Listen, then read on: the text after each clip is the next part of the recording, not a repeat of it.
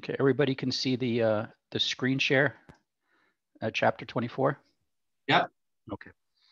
Okay, so tonight, this chapter is a pretty quick chapter. So depending on how we feel um, after it's done, we might start OBGYN, you know, the childbirth, um, depending on how people feel. And then we won't have to be um, staying as late tomorrow night. So we'll see how, we, how we're doing at the end of it. Okay, so we're going to talk tonight about emergencies dealing with the blood, okay, um, diseases of the blood, and with the kidneys. That's what the renal uh, disease is. So I have to be honest with you, uh, as far as seeing patients with hematologic emergencies in the field, um, calling 911, I really haven't seen that too much. Um, could happen, but I really haven't seen it too too much. And and again, what we're learning tonight is probably you know one one hundredth of what there is to talk about as far as you know blood disorders and stuff like that. So more than likely those patients are going to specialized hospitals, probably a Westchester, a Columbia, you know, down the city, and they're not going to be going to local hospitals up here uh, for the treatment of these types of things. Okay, so just a, a quick review of some of the anatomy and physiology. Right, so we know the blood is the fluid portion of your cardiovascular system, and it has some sp specific functions. It has some specific components, right? So as far as components, we have the, flu the fluid portion of the blood, which is called the plasma, and floating in the plasma are the different what they call form, formed elements, meaning they have shape to them, and those are the cells. So we know red blood cells um, carry oxygen and carbon dioxide, and that the oxygen is carried on the hemoglobin molecule of the red blood cells um, we mentioned when there was carbon monoxide poisoning, the issue is that for some reason the hemoglobin likes carbon monoxide better than oxygen. So if there's carbon monoxide in your system, it will completely coat the hemoglobin molecule and leave no place for the oxygen to jump on board. And we know that the only way that oxygen can get into a cell would be if hemoglobin carries it in, right? The cell would not accept oxygen on its own. Hemoglobin kind of has to knock on the door and unlock it to let it into the cell. And that's the same thing with sugar that, you know, sugar needs insulin to let it into the cell with the exception of the brain cells, right? The brain cells will accept sugar without uh, insulin. Um, which is actually somebody asked today, you know, about something about diabetic ketoacidosis. But one of the interesting things about diabetic ketoacidosis is yes, the sugar in the bloodstream is very high, okay, but the sugar in the cells is very low because there's no insulin to bring it in. But in the brain cells, it's fine. So early on in diabetic ketoacidosis, they have a normal mental status because the sugar can get into those brain cells with no problem and it's it's actually a lot of sugar so the brain is well nourished with sugar it can't get into the rest of the cells what actually leads to the altered mental status in diabetic ketoacidosis is, is the dehydration that occurs as the body tries to rid itself of all that sugar. So it tries to urinate out all that sugar, and sugar molecules attract water. So as it's getting rid of all that sugar, it's getting rid of a lot of water with it, and they get dehydrated. And then the other issue is they get acidotic. So it's called diabetic ketoacidosis because there's an acidosis that develops in the blood. And we know that the blood has a certain what they call pH balance, a measurement of the acidity, um, you know, of the blood. And when it's what happens in diabetic ketoacidosis is because it thinks there's no sugar, even though there's plenty of sugar. The cells think there's no sugar because they're not getting it. It tells the body to try to make sugar. And one of the ways the body can make sugar is to break down fat because all fat is is a storage form of sugar, right? If you eat too much, it stores it as fat.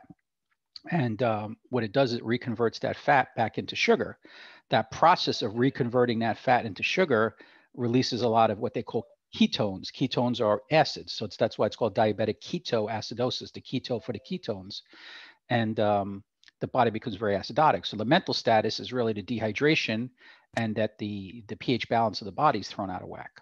So it's just it's an interesting um, interesting thing, you know, when somebody at least thought of that like why would they have an altered mental status? If the brain can use the sugar why would they possibly have an altered mental status? So you know it's clearly somebody doing some thinking. Okay besides the red blood cells we know that we have the white blood cells right which help to fight infection. It's one of the the substances in our body that helps to fight infection. And then we have the plat um, sorry the platelets uh, which are part of your blood clotting system. You have two things. You have platelets and then a substance called fibrin, F-I-B-R-I-N, that um, helps to control bleeding, right? So those are the parts of the blood. And then what are the functions of the blood? Okay, so obviously blood clotting, right? If there's a wound is one function. The delivery of oxygen and removal of carbon dioxide, we said. Okay, and the removal or delivery of other waste products, okay, that the body generates and other nutrients, right? It should actually have besides waste products, there's other things that the cells need besides um, oxygen and sugar, right? We mainly talk about that, but they need other things. You know, they need the electrolytes, the potassium, the sodium, um, you know, the vitamins. So there's other things that your body needs to function, and that all travels to the cells by the um, by the bloodstream. Okay, so we said that it's made up some uh, solid components, red blood cells, white blood cells, and platelets, and that it's suspended or floating in the plasma, which is the fluid portion of the blood. Plasma actually is, is fairly clear looking, maybe slightly a little yellowish looking. Um, when we see blood on the outside of our body, it's because the hemoglobin of the red blood cell, the iron part of it, is mixing with oxygen and turning red.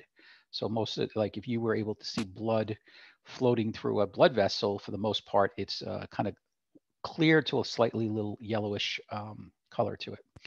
So the term aggregation that you see up here, the first word, aggregation means platelets sticking together.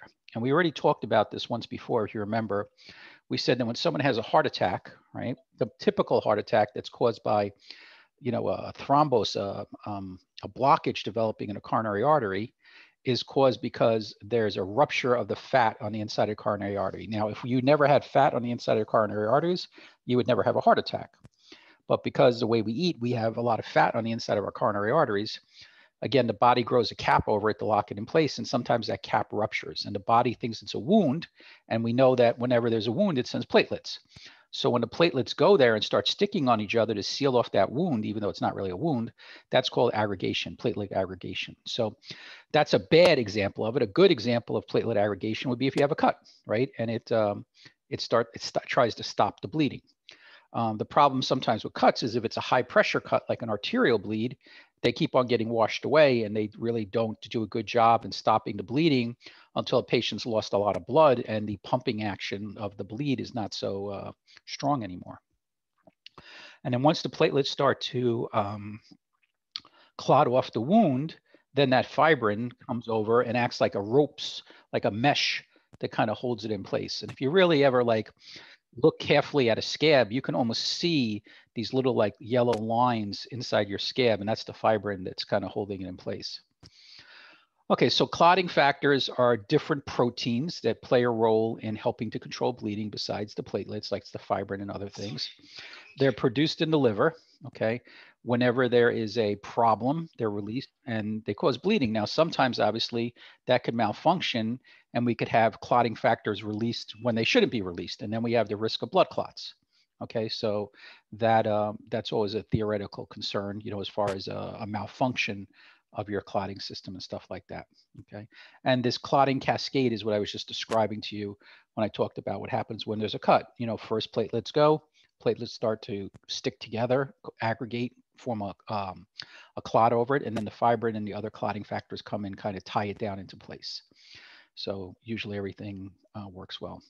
Okay, so coagulopathies are abnormal coagulation issues. Okay, so I mean, some of you may have heard issues like sometimes when a woman's pregnant, she'll lose her pregnancy because her blood becomes very, uh, very viscous, very thick, and she develops clots in the amniotic, um, not the amniotic, the umbilical cord. So there's different types of clotting problems. People that get um, DVTs, deep vein thrombosis in the legs, a lot of times are prone to that.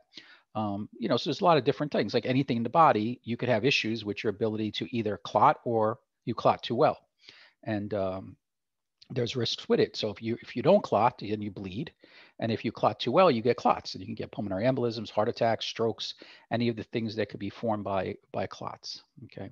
Now, what makes people more prone to um, you know, well, I guess what's the two main emergencies we kind of talk about? So people who have liver disease, since liver, uh, since the liver is one of the things that um, produces clotting factors. So people who have liver disease, and what type of patients have liver disease? Does anybody have any idea what types of patients are prone to liver disease? So what do you think? So people who drink a lot, right?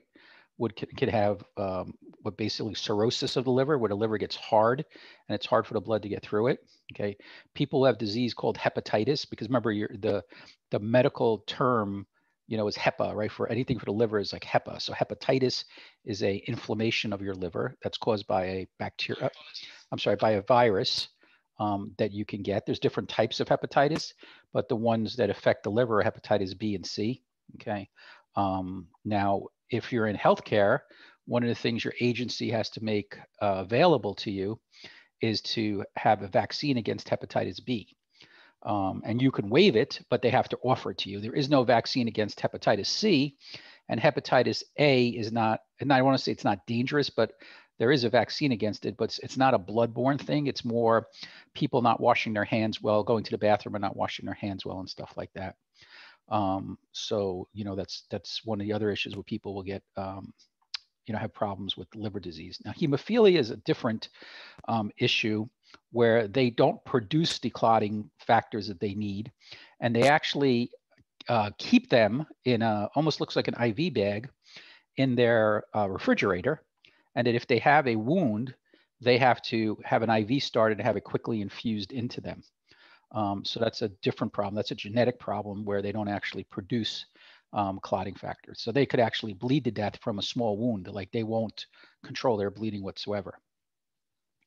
Um, in saying that, you know, I've never seen anyone with hemophilia. Um, I know they're out there, but I've never had a patient who called us with any type of emergency uh, like that. I mean, obviously, we people with liver disease, um, liver disease from alcoholism is definitely down because drinking is down to that point, you know, where people would actually get problems.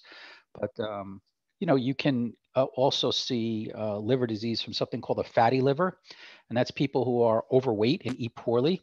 And they develop they, a lot of fat in their liver, and that that uh, will cause them at some point to have liver disease, and um, you know uh, could be fatal liver disease by you know constantly being overweight and uh, having a very high fat diet.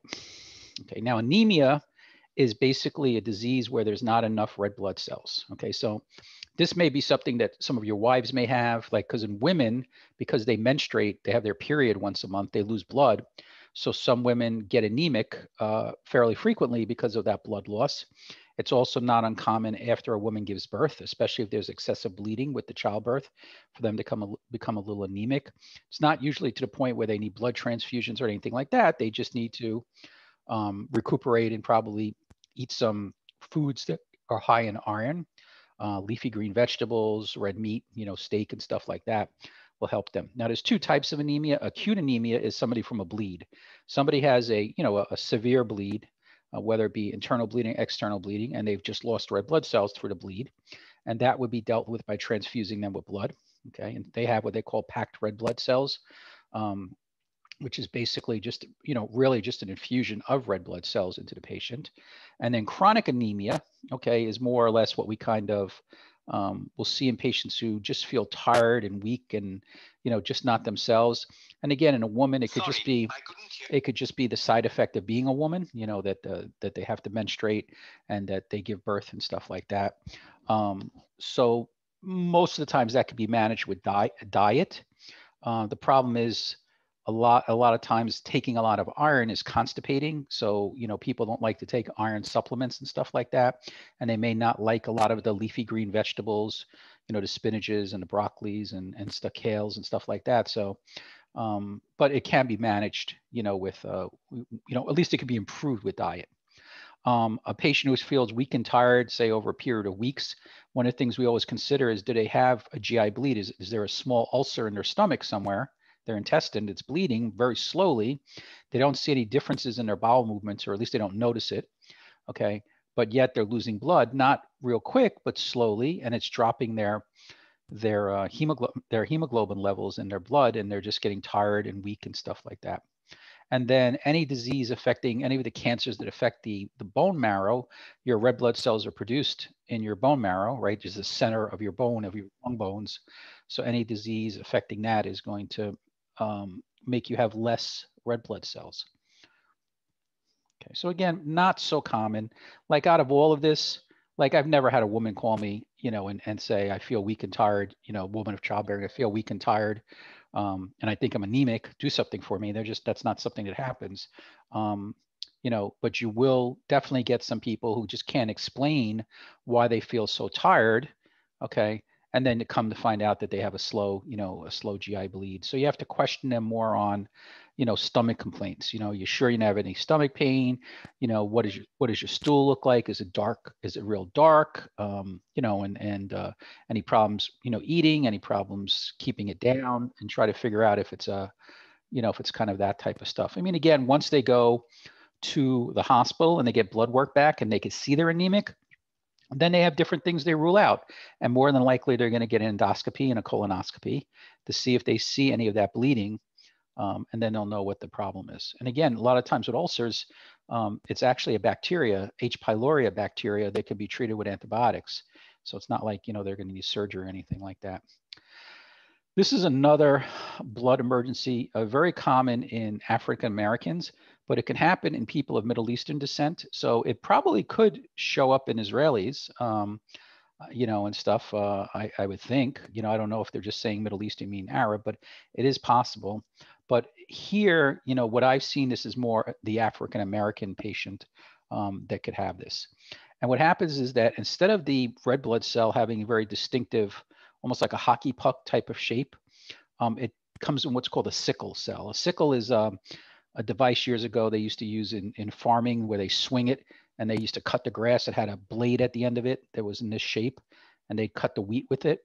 Um, so that's why they call it a sickle cell. But because of this shape, what happens is it gets stuck. The blood gets stuck in the blood vessels and it doesn't travel through. So they have issues with clotting and also the cells themselves do not last very long. So they get anemia okay, because of the shape of the uh, sickle cell. Did somebody have a question or something they were going to say? Okay. Um, so these people, when they have sickle cell crisis, what happens is they they the blood clots up and it's very painful for them. Um, and they can get clots any place in their body or anything like that. Oh, a, uh, a sickle is called a zickle. Okay, close. Sickle, sickle. Zickle. Zickle. Okay. Hull. Uh huh. Okay. Um, so, um, but anyway, so what, what basically happens is it's, it's kind of a, unfortunately, it is a disease that can be managed, but a lot of these people don't really live um, like a full life because of it. You know, again, there's no cure for it, but there's basically treatments that they could offer to these patients. So some of the things could happen is that obviously, you know, we've talked that the spleen cleans the blood, right? Gets rid of red blood cells and stuff like that. So it actually clots up the spleen and destroys it. Sickle cell pain crisis is where they get excruciating pains in their joints because the blood can't travel through because again of the shape of it and it kind of clots up. Acute chest syndrome is actually probably the worst thing that happens to them, where basically they do, can develop blood clots anywhere in their chest, their lungs, their heart, any of the blood vessels, and then have the associated emergencies. In other words, if they develop it in their lung, they have a pulmonary embolism. In their heart, they have a heart attack. Priapism, we talked about when we said that that is the definitive sign of a spinal cord injury with neurogenic shock in a male patient. That's where they get an erection and it doesn't go down, right? It's not an erection caused by because they're stimulated. It's an erection because in a spinal cord injury, because there's massive vasodilation. Remember, neurogenic shock or spinal shock is one of the distributive shocks that's caused by vasodilation. So there's no blood loss. It's just that all the blood vessels lose their tone, so they don't stay tight, they relax. And you know, the way a man gets an erection is by vasodilation. So but in this situation, the priapism is not caused by vasodilation. It's caused by clots, not letting the penis empty of blood, right? So it, it basically fills up. It's almost like you put a cork and the blood can't empty out of the penis, so it fills up. Obviously, you know, a stroke is a clot developing in the cerebral arteries in the brain. Okay. Remember, both heart attacks and strokes can be caused by burst blood vessels, by aneurysms, but that's a small percentage of either one of them. Most of the times, it's caused by um, it's caused by um, clots that develop. Okay, and then jaundice is the color, uh, the yellow color that somebody takes when they have liver disease. You may have saw young children when they were first born uh, with with jaundice. That's just because they have an immature liver, um, and that usually corrects itself in a couple of days. But um, when they have uh, when they have uh, chronic jaundice, that means they have chronic liver disease, and it's a yellowish color. Just from a patient assessment standpoint, the first place that yellow shows up is not their skin, is the white of their eyes, the sclera of their eyeball is the first place you'll see it. And you'll actually see that days before you'll see it on the skin. Okay, so it says one in 12. that's, that, that's easy to identify in African Americans. Maybe that's why. Yeah, well, yes, it's probably. Because usually it's hard. It's hard. Yes, no, you're absolutely right. Um, so one in 12, so that's pretty high number, right? One in 12 African Americans has the trait, but that does not mean that they're going to actually have the problem. Okay, so um, that you know they can have the issue, but they don't actually develop any of the complications and stuff like that. So again, it is possible to live a normal life if you just have the trait, but if you have the complications, is where they run into problems. Um, so there is, um, you know, there is treatment for them. Like a lot of times we put IVs in them and hydrate them really well, give them a lot of fluid because that helps to break up the clots that develop. We give them pain medicine. Um, they actually know what their treatments are because you know they deal with this on a regular basis. Um, and uh, sometimes they'll even have medications that they keep at home for you to administer to them, not on an EMT level, but on a paramedic level and stuff like that. Um, and um, you know, most of the times they're not being managed at a community hospital level, more at you know a university level hospital, like again like a Westchester or an Albany Med or a Hackensack or a Columbia or something like that. So they're probably going to want to go to the hospital that has the specialists. These are hematologists, you know, that manage these patients. Okay, so again, oxygen could be definitely indicated because if the clot is in their lung, they're going to have trouble breathing and stuff like that. Um, you know, other than that, on a BLS level, there's not much else you're going to do to uh, do for them. Really, the, probably the most appropriate thing would be transporting them to the appropriate hospital. So, you know, obviously, if they have signs and symptoms of a stroke, they need to go to the closest hospital that's a stroke center.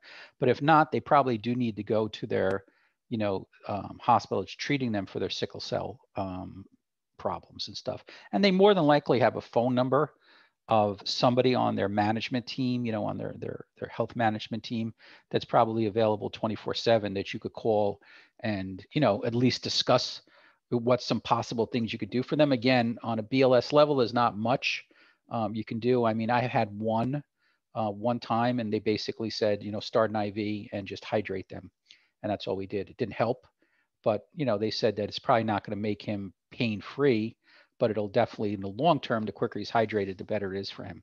So we just dropped an IV in and hydrated him. Okay, so the renal system is your kidneys. Does anybody, I'm sorry, does anybody have any questions on the, the hematolo- uh, hematology aspect of it? I mean, again, it's not something we see, you know, all too often, I have to be honest with you. I mean, most people go through their whole, you know, careers and never see any patients with those.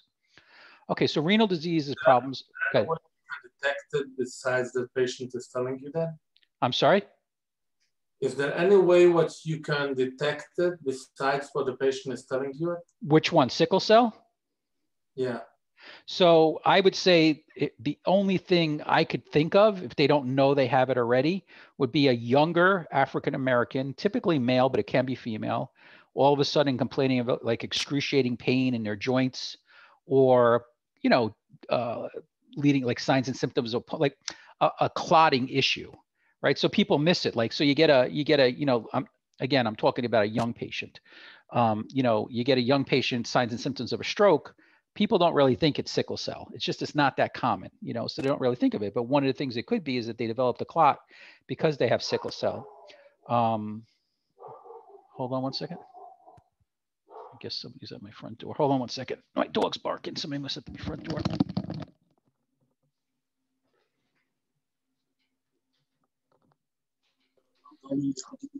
Qual sombra? Ja, Zickel.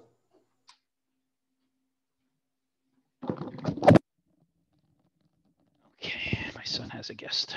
Um, so, you know, that could be, and I bet you there's probably some old people, you know, older people who have strokes, um, have pulmonary embolisms, and if nobody's there to tell you that they have sickle cell, that probably sickle cell was the cause of it. You know, so there's, you know, again, one, you know, in 35 years, it's so it's not that that common. there was a guy in Spring Valley for a while that had sickle cell. I, I haven't heard of him in a while. I don't know if he moved or passed away or something like that. But uh, it's not that that common, um, you know, to find patients and then to find patients that are in the crisis mode. Okay, so for the renal system, again, it's it's basically uh, kidney disease, and we know that we have two kidneys, right? They're in your uh, your retroperitoneal space of your abdomen, which is like your back, the back of your abdomen. Okay, um, and they basically are the filtering system for your blood, right? So they they play a role in um, you know one of the main roles in cleaning your blood. The liver helps a little bit too. So you have two kidneys, and then you have the two kidneys, uh, as the blood goes through it and cleans them, produces urine. That travels in two tubes, okay, called urethras, okay, to, to your to your urethra, which is basically, um, I'm sorry, they travel from your kidneys um, through these two urethras that go to your bladder, and then once your bladder is full, it goes out of a different tube called urethra that goes to your penis or to a woman to her vagina for for urinating out. So what do the, what do the kidneys do? So besides cleaning the blood, okay, removing waste products and stuff like that, they can um, retain fluid if you need to. So like if you're dehydrated, what's the one thing you notice that you don't urinate as much? Okay. Um, so they can retain fluid, or if you drink too too much, they actually can excrete more fluid. Okay, and then they play a role in our acid-base balance. Okay, by holding on to um, the different hydrogen and, and uh, bicarbonate, the different things that help to control the acid-base balance of the body. Okay, so very vital organs. Okay, um, we have two. We could live with one, um, but obviously two work better. So, and the interesting thing about kidneys is they could take what they call a lobe of your kidney, a part of your kidney, and reimplant it in someone else and that lobe will grow into a full kidney and then your kidney will actually repair itself and grow back into a full size one. So that's a pretty interesting thing. So again, you have two kidneys. These yellow things on top are supposed to be your adrenal glands. Um, your adrenal glands sit on the top of your kidneys and they produce adrenaline. Okay, so whenever there's a perceived emergency by the body, it secretes adrenaline, which goes right into the um, the uh, renal arteries that go right to your aorta and go pretty much through your body almost instantaneously. Which that's why when you're scared, you almost instantaneously feel your heart beating, right? Because it takes seconds for the adrenal glands to squirt out adrenaline and for it to get into your uh, your blood vessels and travel all to the different organs that they're going to act on. So these kidneys are filtering the blood that's going through it, okay? And this is supposed to be your aorta this large red blood vessel, and this is supposed to be your inferior vena cava, right? So in other words, the blood's coming down from the heart, okay, and then being cleansed, okay, and then after it goes back up uh, from the kidneys, back up by the inferior vena cava, back up to the right side of the heart, and then be circulated around again. The tubes, okay, that are going to bring the urine to the holding vessel, so you have two, two urethra right there, and they go into the um, bladder. Okay, so your bladder's kind of um, um, a couple inches below your belly button, and um, you know it's just a, a, bag, really a bladder, just a that fills with urine. When it fills, it stretches. Okay, and there's a nerve that sends that information that the bladder is stretched up to the brain. Okay, and then the brain processes that and knows that you need to urinate and it sends a message back down. So this would be the sensory nerve sending the signal back up to the brain telling you um, that the bladder is being stretched and that means that you need to urinate. And then another signal is sent down to the brain to another, to a motor nerve that allows you to open up the sphincter, the, um, the muscle band that keeps the urine up in the bladder until you're ready to go and then it comes out your urethra and urethra travels in a man all the way it's a tube that travels all the way through your penis and that's what you would urinate through. Okay so when people get kidney stones they're going to have a problem with the stone. This is basically the um, the minerals in the foods we eat okay causing a little stone to develop in here and they're going to feel that stone sliding down along here and grinding its way through and it's very very very painful Okay, um, so that's kind of what a kidney stone is. That's probably the most common uh, urinary tract call we get in men is kidney stones. Uh, women can get them also, but uh, that's probably the most common one that we get. Now, UTIs or urinary tract infections are where because this tube travels to the outside of the body, there's always a possibility that bacteria could enter the tube and travel back up and make it up, okay, up into the urinary tract. So where it is in the urinary tract, whether it's the lower part or the upper part, it's it doesn't matter, okay. But if it makes it all the way up into the kidneys, that's a different type of infection. That's more of a you know a kidney infection. So when they talk about a urinary tract infection, it's the actual tubes, okay. Um, and typically it's the lower tube that gets infected. It can move up into the bladder and cause infection, or it could actually travel up uh, further up, you know, into the uh, urethra tubes that bring it uh, back up to the bring the infection back up to the kidney um, more common in women than men, and that's just a pro- that's just a function of distance, which means that because a man's penis extends from his body, it's actually harder for the bacteria to travel into the body. Where a woman's obviously it doesn't have that extra couple of inches of distance, so it's just more common for uh, women to get uh, urinary tract infections than men. If somebody's catheterized, where they have a tube you know they have a medical problem and they they have a tube into their urethra um, to empty their urine up into their bladder, then it doesn't matter if it's a man or a woman. Once that tube's in there, if there's not good cleanliness, either one of them can get a very serious infection. So if you ever go to somebody who has a urinary catheter, right, so they have a bag that they're urinating into, if that urine does not look like normal, you know, clear urine, it looks dark or smells funky or blood stained, it's probably there's some definite problem going on. Remember, never transport a, uh, a patient to the hospital with a full bag of urine because it's going to rupture and it's going to be a disaster in the back of the ambulance. So have the family, hold on a second. Have the family um, empty out, or if you're in a nursing home, have them empty out the urine. But if you think it's a um, infection or a problem with the urine, if they have a clear specimen, a lot of times they'll, they'll have a, a, a clear specimen container, which is like a sterile container with a cap on it. It's kind of what you, when you gave a urine sample, um, you know, at the lab type of thing that you would have urinated into and it's got a cover. So they usually have those just in case they think there's an infection going on so they can get a clear sample um, put some urine in that and then close it and bring that to the hospital. This way, it could be tested right away rather than having to wait for the patient to start filling the bag up again to get a urine sample. Okay, so most UTIs are bacterial, which means they can be treated with antibiotics. Um, the problem is that in some people, they have so many of them that they get resistance to the common antibiotics that are used for it. So typically what will happen is somebody comes in with a UTI, they'll start them on the more common antibiotics, then they'll send the urine out for uh, testing and see what kind of bacteria is growing in it. And they may have to actually call them up and say, you need to come back for a different antibiotic to be able uh, to treat it. Okay. So most of the times it doesn't make it up past the bladder, but if it if it does, then it gets up into the kidneys, and that's that pyelonephritis. That's when they get an actual um, infection in the kidneys, which obviously is a little more um, serious. And that's when the UTI goes all the way back up the tubes all the way into the kidneys. Um, that's a pe- person that's going to look very sick, you know, high fever, shakes, and stuff like that. Um, the kidneys are the last place the blood goes. Don't no, don't think of um, so like that's kind of hard. Like it's kind of hard to picture. So somebody asked, "Is the kidneys the last place the blood goes?" So when the when the blood leaves the aorta, right, and it, it kind of is heading north, right? It's heading up towards your head and then it arches and it comes back down. Um, it's it's a complete loop so there's no real last place that it's ever going.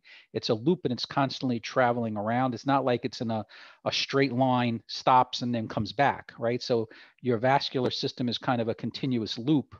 Um, so i wouldn't i wouldn't say it ever stops anywhere because if it stopped it would clot. So it's just kind of a continuous loop. Um, but you know i mean i guess you could say the further it is away from the heart the longer it takes to get to it. So like your toes would probably take a lot longer for it to get to than your kidneys would. Um, but it's, you know, it's basically uh, like plumbers kind of understand the cardiovascular system. It's like the water in your house, you know, I mean, you know, if if if you had a pump continually circulating water, the water would continually circulate around the loop until you opened a faucet. So the faucet could be like a bleed. So in our body, everything continually travels around unless we, you know, lose some blood uh, from somewhere. Okay, and obviously, blood, you know, your blood cells have a, uh, a useful life, right? They blood cells don't last forever. They break down and are are removed from our body mostly by our spleen, and they're replaced by new blood cells. Um, so, you know, and the same thing like plasma. I mean, you know, plasma sometimes leaks out of blood vessels to nourish the tissue around it if it senses the tissue is dry, and then we produce more plasma. So, um, okay, so the reason, you know, I put the UTI in here, it is a, a fairly common call, okay, for us to go on a little old person, typically a woman, and the family's just going to say they're just not themselves, right? Because they usually call probably three or four days into it and and they're going to say, you know, grandma is just not herself. She has no, before she had energy. She used to help me with the cooking, you know, uh, talk to the kids, help them with their schoolwork. And now she basically is, seems a little confused, has no energy. And what's happening is that infection is developing into a sepsis, right? Into a, a blood infection, a body wide infection. Um, so, you know, UTIs can be life threatening um, in patients um, especially older patients, especially older patients who have a lot of other health problems. So just always have in the back of your mind. And sometimes they don't have any urinary complaints, right? I mean, first of all, old people don't complain as much, right? Um, part of the reason is their nerve endings start to break down so they don't feel as uncomfortable and stuff like that. And also, when they start with the fever and, and the dehydration, they're not thinking as clearly because they're not perfusing as well. So they don't have to necessarily tell you it hurts when they urinate. It doesn't have, they don't have to tell you that, um, you know, they're urinating more frequently. Um, you know, most of the times it's fever, chills, confusion, and stuff like that um, is the main complaint. Now, there's nothing in the world we could do for somebody with urinary tract infection except take them to the hospital. It's not going to hurt them to put them on oxygen. It's probably not going to help them, but um, you know, there's there's not really. I mean, again, they need fluids and they need antibiotics. So on a BLS level, we're not doing either one of those. So there's not much that we could really do, um, you know, for those patients. Okay, kidney stones are another issue. Okay, um, I've not had women with kidney stones, but it is possible to have uh, women with kidney stones. Most of the, I mean, in fact, I can't even think of a woman who's had kidney stones, but you know, it's not that they can't have it. Um, they're basically made of the different minerals. So calcium being the main one that we take into our body. Okay, and, um, you know, where in their kidneys, there's no problem whatsoever. But when they break loose and they start to travel down those tubes, it becomes very, very, very, very painful. Okay. Now, the nausea and vomiting is secondary to the pain. It's not any problem with their stomach. Now, when they say unilateral flank pain, so basically what they're saying was one sided because it's one tube, right? One tube's involved, and it's usually off to the side because that's the way the tube runs through your body. Um, so it is pretty, pretty intense pain, um, hurts a lot, okay, as it's traveling. If it stops um, and gets stuck, it's the pain stops, but the problem is that this kidney is not going to empty, right? If, so in other words, if you had a stone that blocked this kidney, this kidney is not going to empty, and that becomes an emergency in itself. Um, so flank is just a term for the side. Somebody's asking what flank is. Flank is just a term for like your side of your, I guess, abdomen, you know, the lateral side of your abdomen. Um, and what do they do? So most of the times it's uh, pain management and hydration. They'll put IVs in them and uh, give them a lot of fluid and try to float the, uh, by, you know, be giving them a lot of fluid, you increase the amount of urine that the uh, kidneys are going to produce. And they try to actually flush it out of the system. If that doesn't work, then they actually try to break it up, break them up with a device that um, bounces sound waves off of them. So they put you in a in a tub of water, and they have this uh, device they put up against where they think the kidney. They could see where the kidney stone is, um, basically on a uh, not an X-ray. Um, I don't know if it's a CAT scan or a sonogram, probably sonogram, an ultrasound type of thing. They can see where it is, and they bounce sound waves off of it and try to shatter it um, with it. So that in itself is a little bit of a painful treatment, but it's better than the alternative, which is surgery. Okay, so um, and people can definitely be more prone to kidney stones. Um, they usually, if they start having repeated kidney stones, put them on a special diet where they tend to uh, produce um, less uh, kidney stones. You know, uric acid is one of the big, having too much uric acid is one of the big culprits of this. And that's also people who have gout are actually also a uric acid type of uh, problem. Okay. Um, patients with um, urinary catheters. So we said, you know, patients who have uh, problems urinating or problems um, where they need to collect the urine or something like that, you know, will have will be catheterized where a tube will be inserted up their penis up into the tube and go all the way up into their bladder, and it will empty the urine straight from their bladder into the bag with no need for for urination. Um, you know, so that's the that's the short term. If they're going to need to be catheterized permanently, then it's actually a surgical procedure where they go in through the stomach right over the bladder and permanently suture a tube in there. Um, the biggest issues is infection, okay, with both of those. Um, you know, again, if there's an open wound, not an, I shouldn't call an open wound, but if there's an incision on the abdomen, okay, there's always a risk of bacteria entering into that, even though it'll, you know, it'll close off and scar off at some point, there's always a risk of that. And then again, there's always just a risk now that you have a tube, okay, that if somebody who's handling, you know, the emptying of the bag may introduce bacteria or something like that, or even if the bag is not emptied on a regular basis, bacteria can develop in the urine, okay, and make its way back up the tube, up into the urethra, and to the bladder, and then, you know, possibly all the way up to the kidney. So people who are catheterized are always at a little more risk for that, okay. Now, the worst level of kidney disease is called renal failure, and these are patients whose their kidneys are shutting down. Now, renal failure can happen to anyone if you go into shock because the kidneys need a large amount of blood, okay, on a regular basis. And if they don't get that, they're not going to be perfused and they could start shutting down. It's actually the first organ in most patients that shuts down when they go into shock. Um, and sometimes in a very aggressive settings, you know, hospitals and stuff like that, where they're aggressive, if a patient is borderline shocky, they're actually put them on dialysis, which is a machine that takes the role of the kidneys just to take the load off the kidneys. In other words, they don't need dialysis yet. Their kidneys are still working, but they'll prophylactically put them on those machines um, so they take the workload off the kidneys and, and then the kidneys don't need to be as perfused as much and stuff like that. Um, but pe people that uh, develop what they call end-stage renal disease means their kidneys are no longer cleansing their blood, they're not producing urine, and they need to have dialysis, which is basically a machine that cleanses their blood for them. And if they don't have that, then they would die. Now, they don't have to be on the machine 24-7, um, okay? Um, but they usually need to be on it every other day uh, for the rest of their lives to do it. And one of the, you know, common reasons why people have uh, end stage renal disease is actually high blood pressure, untreated, undiagnosed high blood pressure. Because again, the danger of high blood pressure is that the all our organs are designed to have blood travel through them with a certain pressure. And if that pressure is chronically high, it's going to eventually over 20, 30, 40 years damage the organ.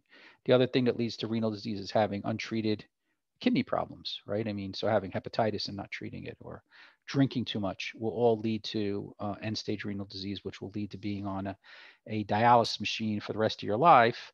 Um, and that is not a good quality of life. You're basically sitting in a chair or a recliner chair for eight hours hooked up to a machine, and you have to have a surgical procedure to graft a tube into your arm that the machine can hook up to. So it's not a, a very great quality of life um, type of thing.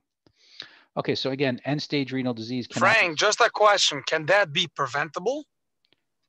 Well, yeah, you prevent it by not getting hepatitis. You prevent it by not drinking. You prevent it by taking care of your blood pressure. It's high. Um, and some patients, they're just genetically predisposed, um, you know, to having kidney disease. So there's not much they could do except live a really healthy life and postpone it and maybe, you know, never get it. Um, but uh, most, you know, end stage renal disease is caused by, you know, just not living a good life, you know, uh, not exercising, eating too much, eating the wrong foods, um, getting hepatitis, you know, uh, drinking too much, uh, eating fatty foods, you know, all the things we kind of, uh, you know, do wrong. So, I mean, if you drink alcohol and get pain when you drink, okay, um, you know, that's your liver telling you that it's way too much alcohol. So if you're, you know, if you're ever, you know, I, I don't know when it is, but if you're drinking and you start getting pain in your right upper quadrant, um, that's your liver telling you that you know you're not you shouldn't be drinking that Um, and you know, you need to stop that, right? I mean, it's not it's not saying okay, I'll have one less drink because the pain's going to go away.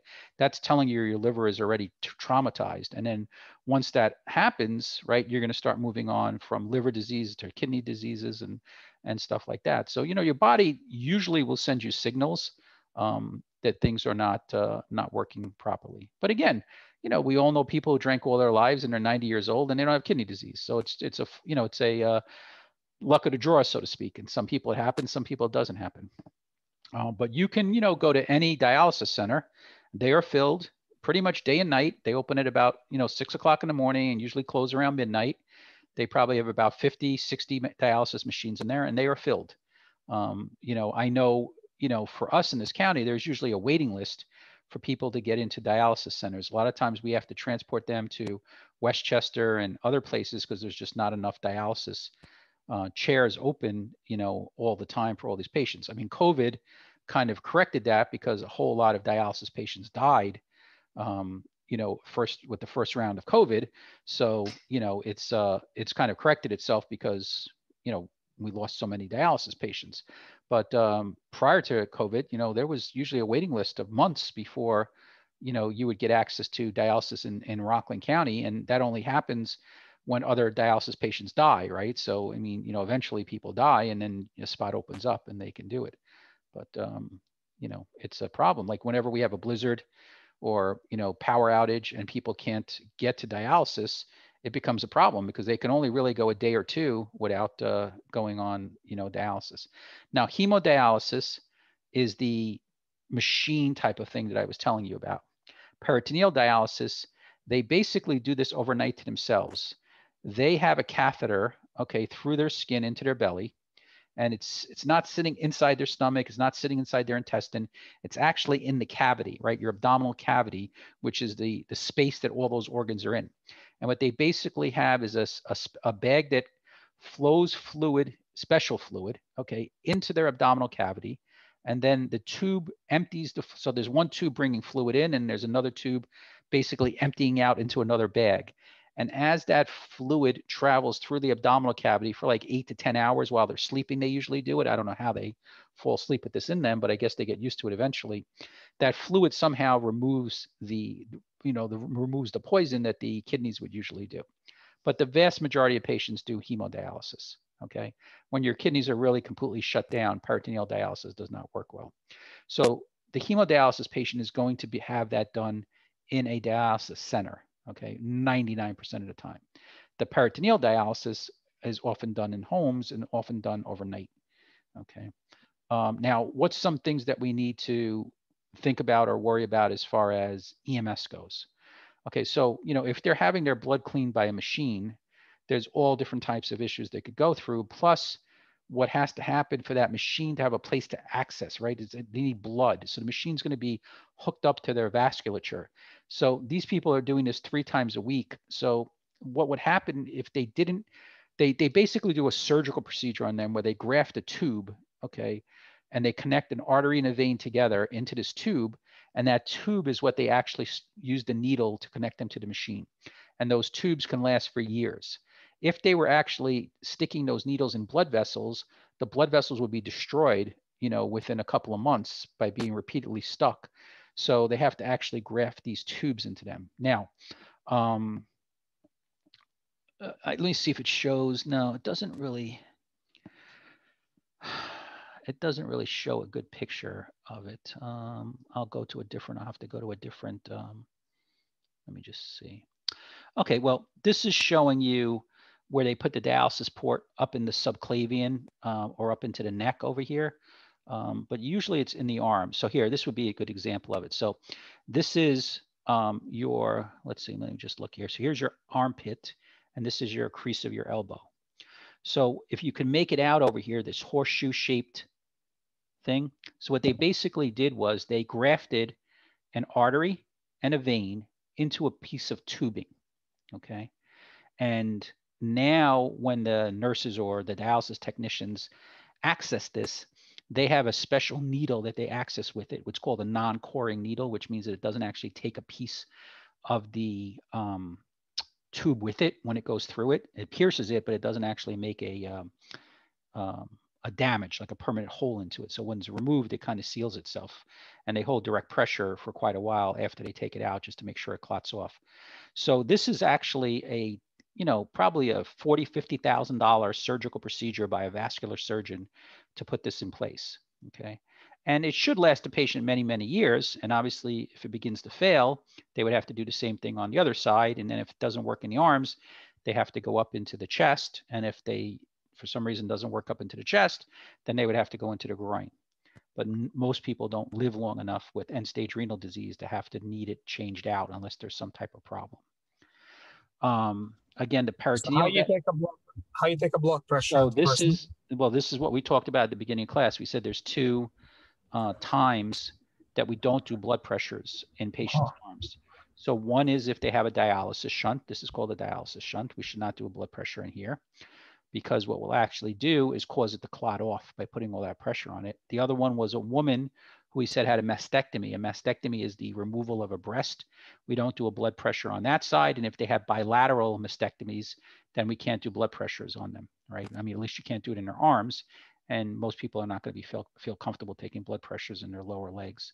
So um, those would be the two times you would not take blood pressures. So if they have dialysis shunts or if they had a mastectomy, those would be the two situations. And they know that. They usually will point that out to you right away and say, no, you can't take a blood pressure in that arm.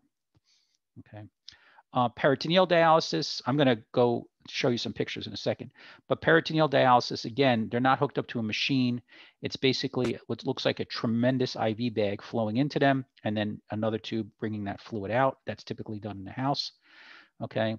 Um, so there's other kinds of specialized types of dialysis. So like discontinuous ambulatory peritoneal dialysis, a lot of times um, people do that, um, you know, in the home and stuff like that, you know, so there's all different types. I mean, it doesn't really, you know, necessarily matter, um, matter to us and stuff. But when somebody has the peritoneal dialysis, you're clearly going to see, you know, on their outside um, that there's a tube hanging out of their body. Okay, and again, the site, even though it's probably scarred off at this point, it's just always a risk of infection. And if it travels, you know, from the tube up into the body, it's going to the kidneys. So they're going to get very quickly get a kidney infection. Okay, um, so what are the complications of end-stage renal disease? So one of the biggest issues is that the patient misses dialysis. So like with COVID, they were too sick to go. Okay, um, blizzards, the staff can't get into the dialysis center. Blackouts. Now the state made them all um, get generators after um, Hurricane Sandy, so that's not usually a problem. Although we did have that blackout last uh, summer, and one of the dialysis center did have a generator, but it actually did not work. So they were out of service for a day while the company had to come and figure out what was wrong with the generator. Okay, so the usual problem is something to do with, you know, not getting their dialysis. And obviously what happens is the poisons start to build up in their body. Um, so when that starts to happen, okay, they have too much, again, if they don't have dialysis, they're not ridding themselves of the extra fluid in their body that the kidneys are usually doing. So they start going into pulmonary edema. So they start getting short of breath. They're going to have issues with not ridding themselves of extra electrolytes, um, you know, the different um, substances that we get by like potassium and sodium that we get by eating food. Um, and all of these are pretty rare, okay, um, in these patients and stuff like that. Probably the most emergent thing we see in dialysis patients is bleeding from the dialysis shunt. Now they should not be, they're always, the bleeding is always stopped and controlled, okay, before they're sent home from the dialysis center, okay. Um, and uh, they're also weighed on the way into the dialysis center and weighed on the way out to make sure that they are not retaining or losing too much fluid by the dialysis. So they have a formula. So this, let's say the patient comes in and weighs 150 pounds on the way in, you know, they'll have a formula. I don't know exactly what the formula is, but they'll know that the patient should come out probably weighing around 150 pounds. So if they're too low, it means they took too much fluid out of them and they're now going to be dehydrated. So they have to actually give them some fluid. And if they come up too heavy, they didn't take out enough fluid and they run a risk of going into, you know, congestive heart failure because there's just too much fluid in their body. So most of the times they're on top of it. We don't really get emergencies, but sometimes there's bleeding emergencies. So I'm going to have to switch to a different PowerPoint in a second um, to kind of show it to you and stuff like that. But again, The AV fistula is the shunt, arterial venous fistula, the connection. That's what I was showing you in the guy's arm and stuff like that. Um, so it's it's a little different than normal bleeding control. And we kind of hold off with a tourniquet to the last possible minute because if you put a tourniquet on this, you destroy that whole shunt thing and they're going to need a whole surgical procedure again uh, to put a new one in a different extremity. Okay. Um, infections are pretty rare because at the dialysis center, they um, they use total aseptic technique, right? I mean, they're you know they're in sterile gloves, um, a mask, you know, nine times. So it's pretty rare at the dialysis center they're going to get an infection. But obviously, if the patient doesn't take care to clean themselves, there's always a you know a probability that something could happen. And then again, with the peritoneal dialysis, where you saw the tube on their abdomen, they run the risk of again entering bacteria into their stomach, your stomach cavity, abdominal cavity, which is called peritonitis, right? Which is an infection of the peritoneum, the, the basically the abdominal cavity. Okay, um, so we're going to talk about bleeding in a second. I'll go to it, but again, it's going to be direct pressure. You're probably going to need hemostatic dressings. Okay, and again, a tourniquet if you cannot control it, but we usually you know, try for a little longer than we would if it was like somebody slashed with a knife, because we know that if we put that tourniquet on, you know, yes, we're going to stop the bleeding, but we're going to also destroy the shunt. So if we can wait and give it an extra minute or two normally than we would, okay. Obviously, if they're bleeding, they need oxygen. And let's just go through the review and then I'll show you some other pictures of, you know, what it looks like and stuff like that. Okay, so we, this was just a quick review. We know that the red blood cells, okay, um, are the one of the, the formed elements of the blood and it carries carbon removes carbon dioxide and carries oxygen. The white blood cells have with bleeding okay i'm sorry uh, uh, platelets have with uh, bleeding control and the white blood cells have with infection okay and that the plasma is the fluid portion of the blood that everything is floating through. Anemia is the medical term for not having enough red blood cells and again the most common cause of anemia is ble- is bleeding. Uh, it could be just a normal side effect of a woman menstruating once a month uh, normal side effect of a woman losing blood giving birth and stuff like that. Okay, sickle cell anemia is a special genetic problem where instead of the cell, uh, red blood cell being round, kind of looking like a hockey puck, it looks like that sickle um, that we talked about, the, the, the special, uh, I guess, knife or device that they use to uh, cut the wheat. And because of that, it basically clogs up the arteries and can lead to a lot of different problems, any type of clotting problem, pulmonary embolism, strokes, anything like that, heart attacks. Um, so not too, too common. We said the renal system, again, is the kidney system that has to clean the blood and remove um, the urine from the body. And that the, the main issues we see as far as kidney problems would be kidney stones or urinary tract infections. And that people who have untreated uh, renal disease, kidney disease, will develop um, end stage renal disease, which requires them to go on to dialysis. Okay. And then I'm going to show you some pictures of what happens with the bleeding of dialysis. Okay. And again, the bleeding is only going to be in the hemodialysis. The hemo is blood. That's where they're hooked up to the machine and they had that special connection of their blood vessels. The peritoneal dialysis, their bigger problem is more usually infection. And I'll show you some pictures of that a second. Okay.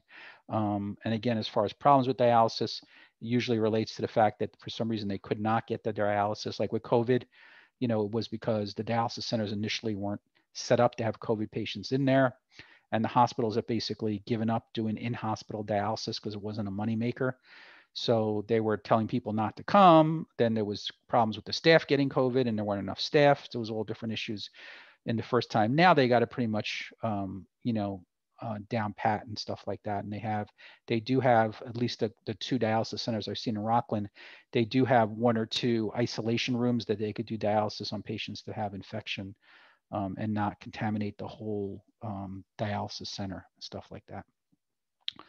Okay, so we have a patient transported routinely for dialysis three times a week. She's sick and canceled the trip yesterday. Now she's saying she can't breathe and feels like she's going to die. Okay, so obviously what happened was because she missed her dialysis, she retained fluid, right? Because the dialysis machine acts as the kidneys and helps to remove extra fluid from the body. And because of that, she's basically filled up with fluid, which is backing up into her lungs. So she's going into congestive heart failure slash acute pulmonary edema. So again, our treatment would be to get her on oxygen and consider possibly the use of CPAP on her, depending on, you know, other things that we don't see here, her vital signs and stuff like that. But she's, you know, she's basically a congestive heart failure patient. Her lungs are full of fluid instead of air, and she feels like she's drowning. So that's what's kind of happening with her. Okay, so let me um, find the other PowerPoint.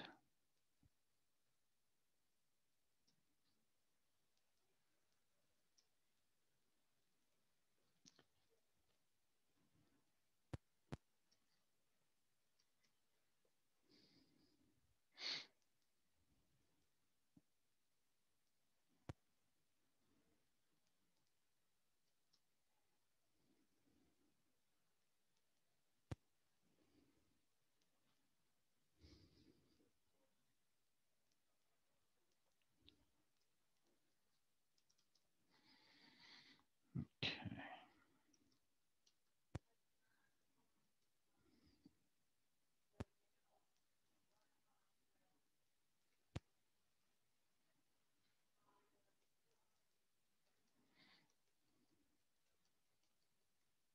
So this is what someone would look like that's on hemodialysis. Okay. So what they there's two ways they do it. What we saw the picture of, okay, is here where they connected a vein into that tube and then they brought that tube and connected with an artery. So this graft, this piece of plastic is actually a high pressure vessel because it is hooked up to an artery. Okay. And then the other way is where they actually take the vein and connect it to the artery um, without having this artificial thing, but this is not the common way that they're doing it anymore. Um, so you can see here, right, they have two different tubes going into them.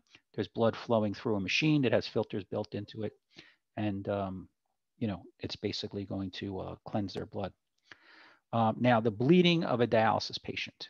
Okay, so this uh, this lady had her shunt in her subclavian up in her upper chest and she started to bleed. So you could see it kind of looks like a, a murder scene.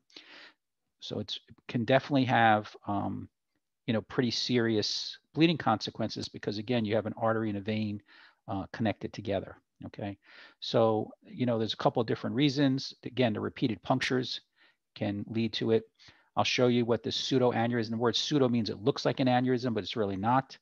Okay, so a pseudo aneurysm is that because this again is somebody's arm where the that shunt is in. So because you have an artery and a vein connected, the, and the artery is high pressure, sometimes they'll have massive dilation, right? Because of that high pressure of the blood vessel. And it'll look horrible. It'll look like that's what the emergency is, but that's actually how it looks their whole life now. Uh, there's no complication, okay?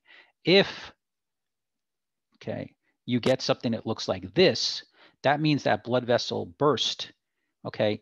Down here is going to be cold and lifeless because nothing, this is actually like a huge pressure ball on their arm and nothing is going to get below it.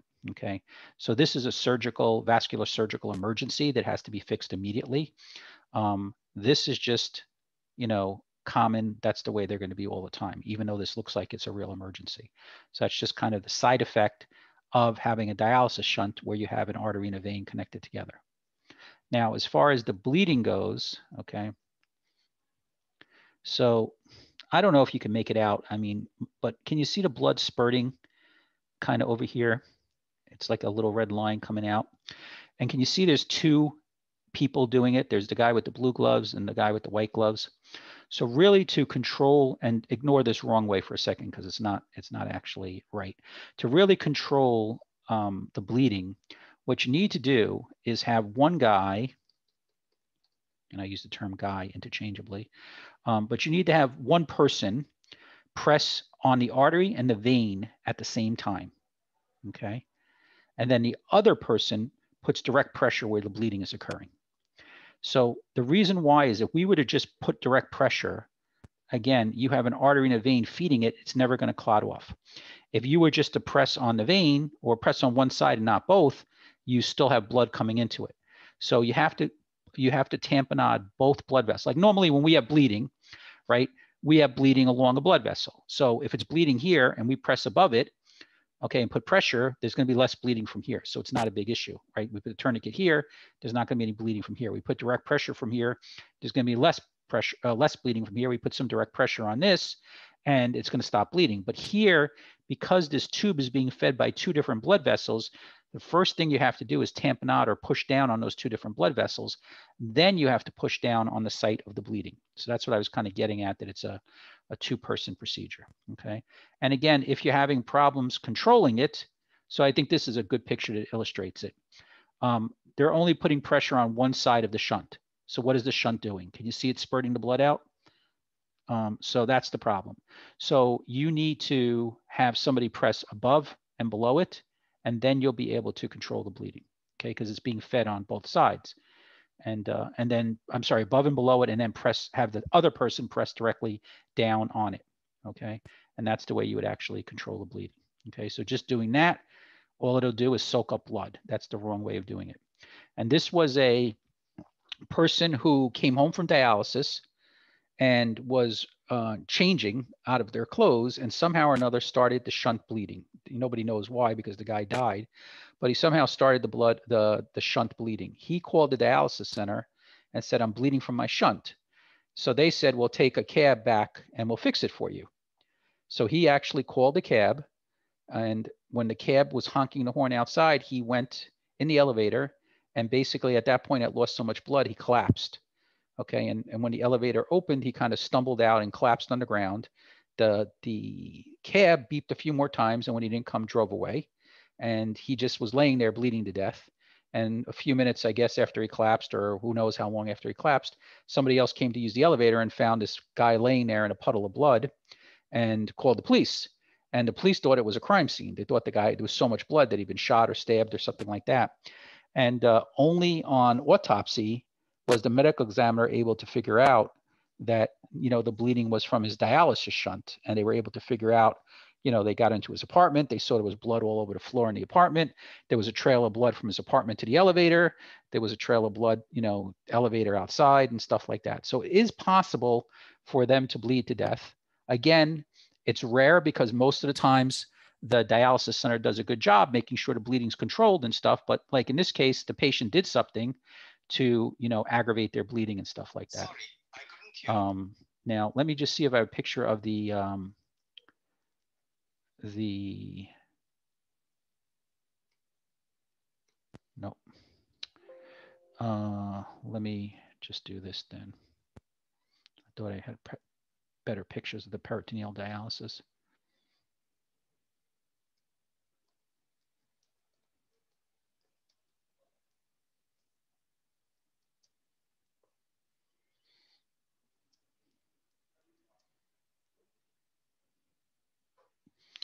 So, see if there's any, oh, I guess we could look at this for now.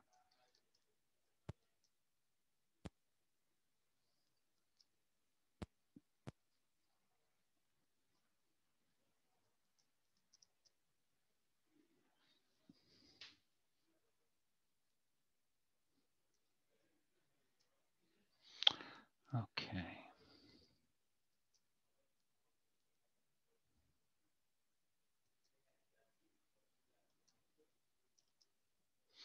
Okay, so basically somebody who has peritoneal dialysis has a tube that's surgically placed in their abdominal cavity, not in any particular organ.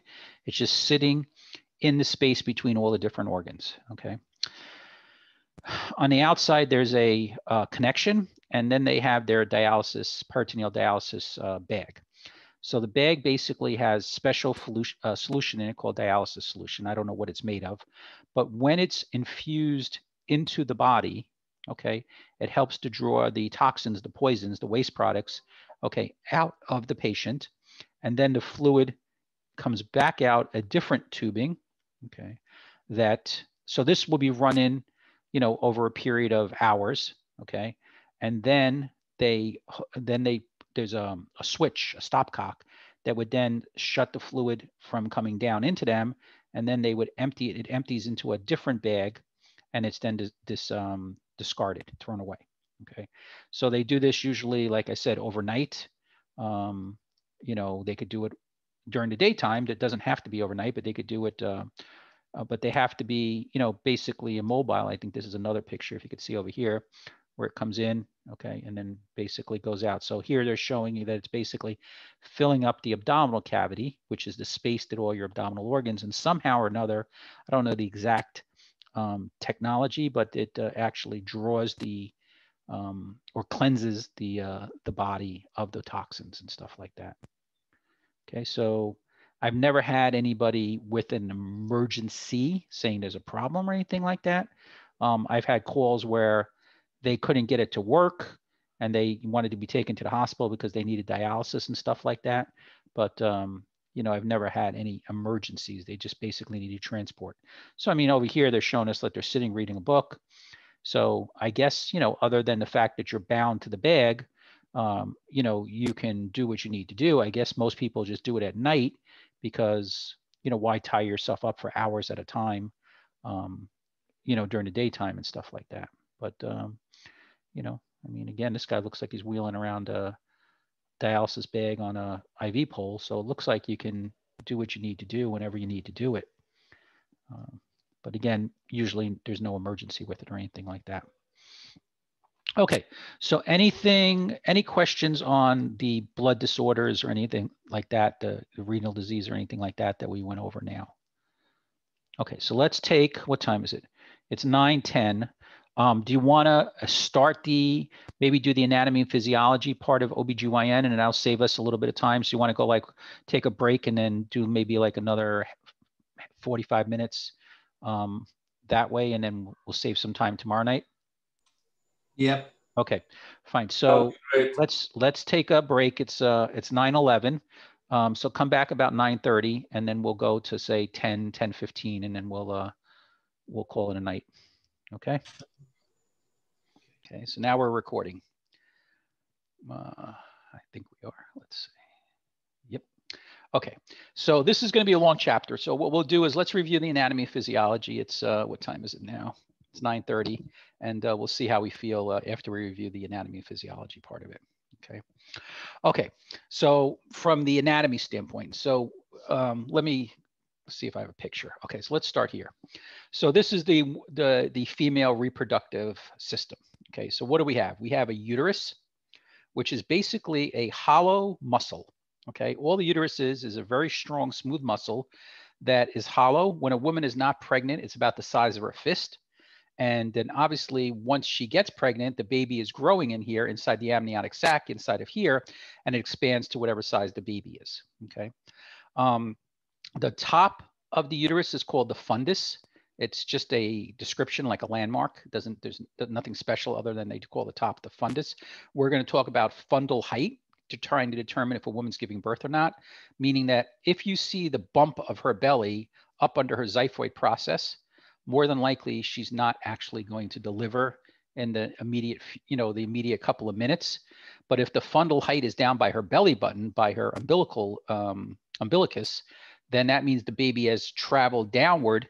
So in other words, if this height now is, you know, well, it's always going to be here. But what I'm saying, if you see the bulge further down, it means the baby has traveled down into what they call the birth canal, right? Which is a space over here of the cervix, which is the opening from the the uterus into the vagina. Okay, and then obviously from the vagina, it's a short distance travel to the outside of the body.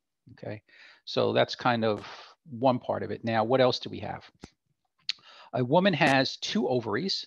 The ovaries are the egg producing um, structures, and that usually once a month, a single egg, sometimes two eggs, but most of the times one egg, is released by an ovary. Okay.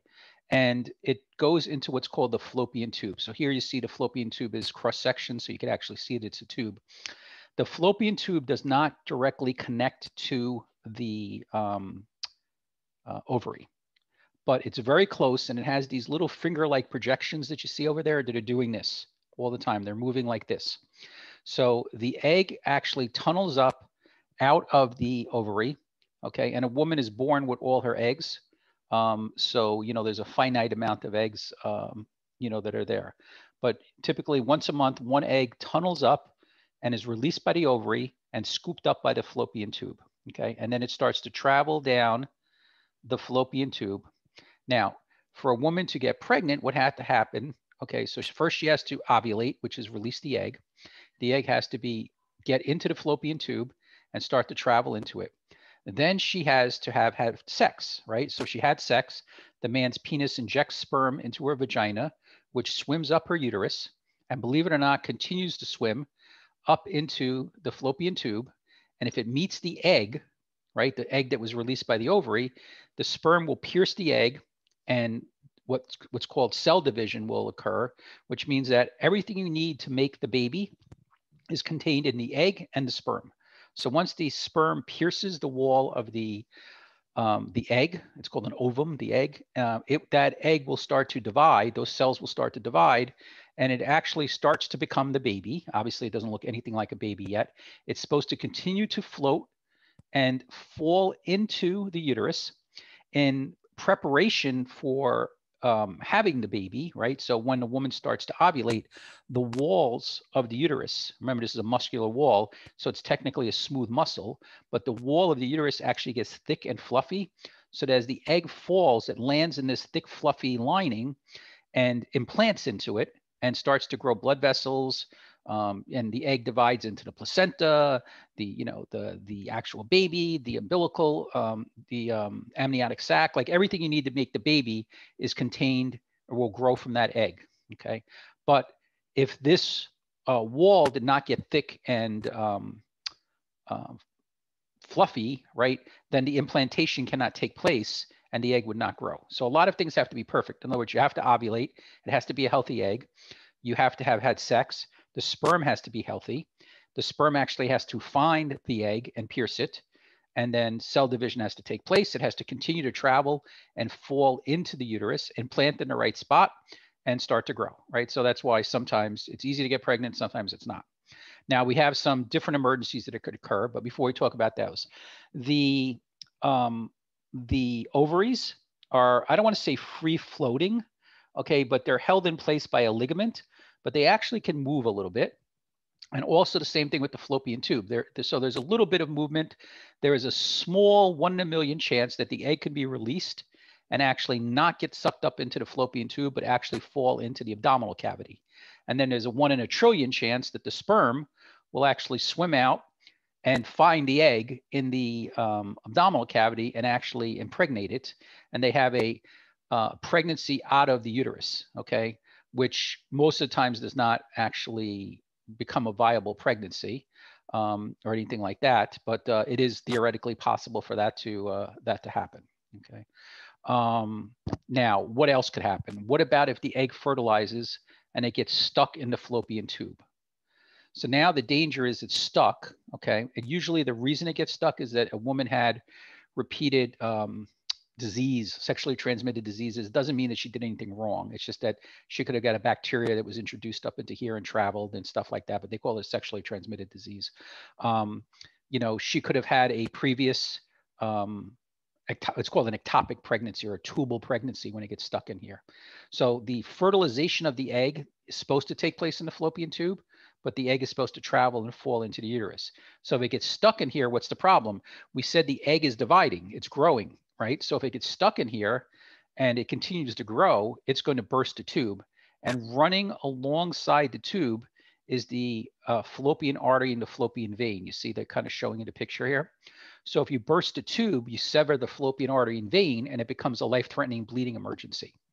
So that's the problem. Now, when women have ectopic pregnancies, you know, we usually have certain um, clues, right? So it's a woman of childbearing age.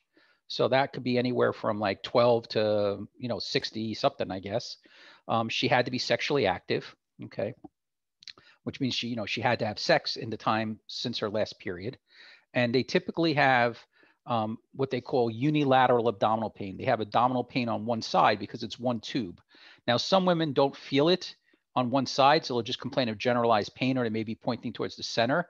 Again, if the egg, you know, got stuck real close to it, they could complain towards stomach, but they usually have one-sided abdominal pain. And there can, if it bursts, be severe bleeding, but usually they will um, have symptoms, go into their OBGYN, be told they have an ectopic pregnancy, and either be given medicine. Um, it's an old chemo agent. I can't remember um, the name of it is methotrexate. Um, they give them to dissolve it. Um, if it's already at the point where it looks like it may burst, they may actually have to have surgery. Um, now, I've had quite a few times where women call us to the house and they said they were to their OBGYN. They were told they have an ectopic pregnancy. They were scheduled for a procedure five, seven days later, and you know they're in that five or seven day window waiting for their procedure, and now they're bleeding. So all it means was that the obstetrician was busy; he couldn't schedule them earlier, so he he sent them home, and they didn't have enough time, and they started to actually bleed, and that's why they called 911. So that's you know that's a that's a hemorrhage emergency. It's a hemorrhage emergency that we cannot fix because we cannot stop the bleeding. So it's really something that has to get into the hospital, but it's just a, you know, a bleeding emergency. I mean, none of these women were bleeding to the point where it was life threatening, but they were definitely, you know, spotting and stuff like that. Now, in your um, clientele, right, you go to the woman and she has unilateral abdominal pain, you look at her and say, okay, you know, she looks like she could have babies. And then you say to her, well, you know, are you sexually active? it's not going to happen, right? I mean, first of all, you guys probably wouldn't ask. And second of all, she's not going to tell you. So, uh, you know, what happens in the Jewish world with all this uh, OBGYN is that we, we really become a taxi cab, um, you know, and, uh, you know, they, God forbid you actually have to vaginally deliver it in the ambulance. You know, it's, it's, it's probably a hundred times harder than anything else because, you know, modesty and this and that and everything. So it, it you definitely, you have your work cut out for you. Getting a history is very hard. Like, you know, uh, you, you know, have you had any babies before? Yes. Okay. Were there any issues? Dead silence. You know, so it's like it, it, they're just not very forthcoming with any of the information that you kind of you know want to get and stuff like that. And most of these women are you know gram uh, gram positive, strep positive, so you don't really want to vaginally deliver it without the mother getting a dose of antibiotics to pr- protect the baby. You know, and so there's just there's a multitude of issues. Plus, you have women who've had you know anywhere probably from four to ten babies and uh, with every successive pregnancy, this uterus, which is just a muscle, has been stretched and stretched and stretched, and it becomes harder for it to contract and push the baby out. So, you know, it sometimes can happen where they get, you know, basically a floppy uterus that it doesn't have any strength left to push and they can't actually push it out. And it becomes a very prolonged delivery. And obviously in the hospital at some point, they would make a decision to C-section the baby um, and take it out surgery. But we don't have that luxury in the field. So definitely obstetrical stuff in the in the Jewish world, especially in the Jewish world where women have multiple multiple babies into later in life, you know, presents with a lot of different emergencies that most people you know don't see. Um, or most, you know, most EMS people don't see, or even most obstetricians don't see unless they're servicing, you know, a, uh, a population that has those, you know, those those amounts of babies later in life and stuff like that. Okay, so let's go back. So the vagina was the connection from the outside of the body to the uterus. The opening of the uterus to the vagina is called the cervix, and this is the muscle that has to relax to allow the baby to um, deliver. So they talk about the dilation of the cervix, and they talk about the effacement or the thinning of the tissue down here to allow the baby to actually pass through the cervix into the vagina to actually be delivered, right? So again, the vagina is smooth muscle, the, the, um, the uterus is smooth muscle. It's just a type of muscle. You know, where we had uh, skeletal muscle and we had smooth muscle. Skeletal muscle is in the skeleton. Smooth muscle was in the lungs, the blood vessels, reproductive tract, the gastrointestinal tract um, lungs and stuff like that. And then we had the specialized muscle called cardiac muscle. And again, on the test, the only thing that's special about cardiac muscle is it has the ability to initiate its own impulse, where all these other muscles need the brain to tell it to do something. Okay. Then we had the ovaries, which were those two sacs that produce the eggs. Okay. And then the eggs are travel from the ovaries through the fallopian tubes into the uterus. And that fertilization, which is the egg meeting the, um, I'm sorry, the sperm meeting the egg, okay, um, takes place in the fallopian tube, but the egg is supposed to, after it's fertilized, to continue to travel down and implant inside the, uh, in the uterus. If it gets stuck in the tube, we call that an ectopic or tubal, like T-U-B-A-L, tubal pregnancy, okay? And that can become a life-threatening emergency if the egg continues to travel and ruptures the, um, the fallopian tube and causes bleeding. Okay. Uh, what else do we have here? Oh, just a, a couple other little interesting things that could happen. Um, some women, when they ovulate, okay, uh, feel intense pain. It's called middle Mittelschmerz. I think it translates in Yiddish to pain in the middle of the month. Um, so actually, the medical term is a Yiddish word. Um, I, have had once or twice very very young uh, girls uh, kind of home alone, you know, no mom type of thing, who had such intense pain that you know they thought something horrible was coming on. You know, one time we even thought it was an um, appendicitis because she had like lower right quadrant abdominal pain, but it was just basically turned out when they did a sonogram, it turned out to be that she was probably just ovulating stuff like that. The other thing that could happen is that when the egg bursts um, through, there's actually a hole, right, that has to heal in the ovary. So there's a possibility for women to get infections. You've heard of ovarian cysts and stuff like that, or polycystic ovaries. So there's all different issues. So if a woman who is ovulated, okay, is in her cycle to the point where she's ovulated, all of a sudden develops fever and chills and lower quadrant abdominal pain, um, it could be that she has an ovarian cyst that got infected. So, you know, there's a lot of, you know, we're, we're mainly going to talk about the OB side of it, but from the GYN side of it, the gynecological side of it, there's lots and lots of things, um, you know, that could go wrong. Uh, fortunately, most of them are not, um, you know, life-threatening problems or anything like that. Okay, so now we're up to, right, we have the fallopian tubes, we have the ovaries, the egg comes down, it comes into the uterus, which is basically a muscle that is hollow. Again, when a woman is not pregnant, it's about the size of her fist and then it grows to great size. Um, the process of, um, you know, the monthly process of preparing to get pregnant, different hormones are secreted into the bloodstream and it causes the walls of the uterus, the internal walls of the uterus to get thick and fluffy so that when the egg falls, it has a place to implant. Now, where it falls is also pretty important. But We'll talk about that in a second. Uh, the top of the uterus, again, just as a landmark, we said is called the fundus, okay? And we're going to talk later about fundal height okay, and that the opening of the uterus into the vagina is called the cervix, okay, and that that has to relax to be able to, for the baby to actually be able to uh, deliver, okay, and obviously we said that the uterus can stretch and grow, so it's not really growing, but it's stretching to accommodate whatever size the baby is, okay, and again the cervix is that muscular ring that has to relax and and uh, thin out to allow the baby to deliver, okay. Um, trying to think what else we could talk about on this. Uh, it is, I mean, later when we talk about emergencies, it is possible to, for a woman to uh, rupture her uterus, which basically becomes a life-threatening emergency. Um, you know, and it was surgical, it has to be a C-section. And then after that, she more than likely has to have a um, hysterectomy where they remove all of this out of her body it is possible for a uterus to prolapse outside of the body where it basically folds down and comes out of the vagina and leaves the body.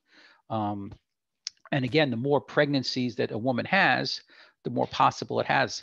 A woman who's had a C-section where the, the uterus was cut open to have the baby removed, then that scar can rupture, right, during pregnancy. If she's having a vaginal, you know, most people have a C-section um, subsequently always have C-sections. In the Jewish world, uh, what happens is because they're going to have so many babies, they really can't do too many C-sections on this uterus because every time you cut into it, there's a scar. So what usually happens is if they had a C-section, it was because it was emergent. And then if they get a, you know, gutsy obstetrician, they will actually vaginally deliver it. Okay. But there's a risk in vaginally delivering it, which means there's scar tissue that's developed that could rupture. And since most Jewish women are having a baby within, say, 18 months of the first one, that scar is not really completely healed. And there's always a chance that when you have a vaginal delivery after a C-section, that it, there actually could be a rupture of the uterus. Um, so there's, you know, all kinds of problems and there's all kinds of problems that very rarely happen but would happen more in the in the jewish population just again because of the amount of babies and the um, the age that women continue to deliver into um, or continue to have babies in childbirth into. So, you know, there, there will, you know, there, there can reach a point um, where these emergencies become, you know, more likely to happen. But with better screening and stuff nowadays, they can almost predict problems. And, you know, again, it may be a situation where the woman would have to go in early. It may be a situation where they say, that's it for vaginal deliveries you know, you're now, you know, that's it. This is your last one. You're going to have a C-section and you're not going to be able to, you know, have, uh, you know, any more babies or anything like that. Um, so I said 18 months, somebody put in 12 months, but whatever. um, okay. And it says, how do twins happen? So twins can happen uh, a bunch of different ways, but, uh, you know, sometimes two eggs are released. Okay. It could happen that one egg splits. Um, you know, so there's a lot of different ways that uh, twins can happen, but um, you know, it, it's, it, I mean, you could even have, um, you know, women who are, uh, what's the right word? Um, I'm just tired tonight. You know, they have problems getting pregnant, so they're going for, um, uh, I forgot the term, but they're basically taking shots. Infertility. Yeah, right. So they're infertility treatments. They're taking shots to encourage them, the woman to ovulate. So sometimes those women release multiple eggs, and you could actually have, you know, multiple uh, pregnancies. Okay. Um, so, um, you know, we we actually have uh, where I live. We had a we have a woman who lives here who they tried for seven years. She couldn't get pregnant, and um, she went down to the city for uh, infertility treatment, and she was going to have to take shots. Except her husband couldn't do it because he kept on fainting. So my wife used to go over there and give her these shots and stuff like that. And then she got pregnant, had a baby, and once she had that first baby, she's had nine more you know, um, since then. So it just really took the having the first one to fix whatever the problem was with the infertility. So it was, it was pretty interesting. Um, the other thing that can happen again is because you may have so many eggs, or sometimes they actually implant eggs, right? So they'll harvest eggs out of the ovary. If the if if the problem is not the person the woman's ovary, they'll actually harvest eggs, and in that case, they'll take three, four, or five eggs, okay, and then implant them because they want to make sure at least one gets fertilized. And then you could have the situation where multiple eggs get fertilized. Um, so, you know, in the non-Jewish world, people would probably, you know, choose to have one baby. So they'll tell them to get rid of the other fertilized eggs. A lot of times in the Jewish world, they'll say, okay, you know, three fertilized, I guess I'm having three babies. So now all of a sudden they have triplets. Um, so, you know, I have siblings four, quadruplets. From, artif- from artificially or naturally? No, my mother has um cystic ovaries. What do you say? Oh, How do you polycystic. it? So Polycystic poly, ovaries. yeah. Well, polycystic ovaries just means that they develop a lot of cysts. But your mother probably, um, you know, was one of those women where her ovaries is is releasing more than one egg, um, you know, type of thing routinely. So, Yeah, Uh, they're all is- healthy and they all have kids already. okay, thank God. Okay, uh, somebody asked what birth control does. So there's all different types of birth control. There's there's there's birth control that stops the sperm from actually entering into the uterus. Then there's pills that people take that interfere with the hormones that need to be released um, to start the pregnancy cycle, right? So they basically interfere with the ability to actually have the egg release because for the egg to release there has to be certain hormones levels of certain hormones there's a lot of different things different types of birth control um, but basically long and short birth control just makes it less likely for a woman to actually be able to fertilize the egg, the, either the egg to be released or for the fertilization of the egg to take place. Um, doesn't mean it's 100%. Uh, no, you know, no, no birth control is 100%, um, but um, just definitely makes it uh, less. And, and, and um, an IUD, that's what somebody asking, that is a device that's inserted, okay, to stop. It's an inter interuterine device. It's a device that's inserted in the uterus to stop the sperm from entering um, up into the um, uterus and then making it up into the fallopian tubes. Frank, uh, Mm-hmm. just uh, I want to go back a minute to the ectopic pregnancy. Mhm. If that ruptures and it starts bleeding, is that going to be a bleeding to the to the vagina or Absolutely. So, so I should, so, so it can be both. So that's a really good question. So if the blood makes it into the tube, then it'll be, it'll be vaginal bleeding. If the blood is just leaking out into the abdominal cavity, there can be no vaginal bleeding. So most of the times there is some vaginal bleeding, but it may, not- show you accurately how much bleeding is occurring because some of it may actually be in the abdominal cavity. So that's a very good question. So it could be either way. It could be you have both bleeding in both places. You could only have bleeding through the vagina. You can only have bleeding into the abdominal cavity, so you don't see anything out of the vagina. But most of the times, it's a combination of both. Okay, so um, none of this stuff that we're going to talk about now is on the test, but the process of getting pregnant requires two hormones, estrogen and progesterone. Um, most birth control pills contain high levels of estrogen, which basically throws off the thing that's supposed to happen, doesn't allow the egg to release the over the um, the ovary to release the egg. Um, but I'm not sure if there's birth control that has progesterone just. But I know most are estrogen containing birth control pills. Okay, so, but if everything was going to go perfectly, the naturally in the woman, these two hormone levels start to rise and it triggers the things that we need to happen happen. So it trigger, triggers the ovary to release the egg. The egg is called the ovum. It causes the walls of the uterus to thicken and soften in preparation for that egg, if it gets fertilized, to flop into it and have a place. Okay, and at the fallopian tubes, okay, peristalsis. You remember we used as a term for food moving through your esophagus and your digestive tract. That's how the food moves through. It's basically the muscles kind of squeezing the food through. Same thing happens with the fallopian tube. So that's how the egg, the egg is not, doesn't have like a motor to travel it through the fallopian tube. It's the fallopian tube itself starts to squeeze and push the, uh, gently push the egg through. Okay. And then if the woman does not get pregnant, so none of this happens, the wall got thicker, but the egg never came or never got fertilized. There was no sperm. She didn't have sex, whatever it is. So nothing fell into the uterus. What will happen is the uterus will um, shed that thick lining, okay? And it actually looks, um, you know, that, that lining is basically blood vessels and, and tissue. And that's the blood that you see that, you know, that a, a woman has leaving her body when she um, bleeds during, you know, after she has her, her cycle. Okay, so that's what it basically is. And that's why some women obviously become anemic. Um, um, I mean, not anemic to the point usually that there, if there's any emergency, but they definitely will feel uh, weaker and tireder when they're actually shedding that, um, that lining out. Okay, again, the term fertilization basically means that the sperm, which was what the man has, reaches the egg, which is what the woman produced. Okay, again, sperm comes from the man's penis. The ovum or egg comes from the ovaries. Okay, once the ovum is fertilized, that just means the sperm met it, pierced it, and starts the cell division. They don't call the egg an egg anymore. They call it an embryo or basically a tiny little, you know, uh, immature baby. Okay. The embryo floats or continues to travel down the fallopian tube, falls into the uterus, implants, and starts to divide and everything you need to make the baby. Right. So the placenta is going to develop, everything's going to develop that you need to make the baby. Now, where it implants is important too. So when the egg falls in, you'd like it to implant on the sides. Okay. You don't want it, definitely don't want it to implant up here.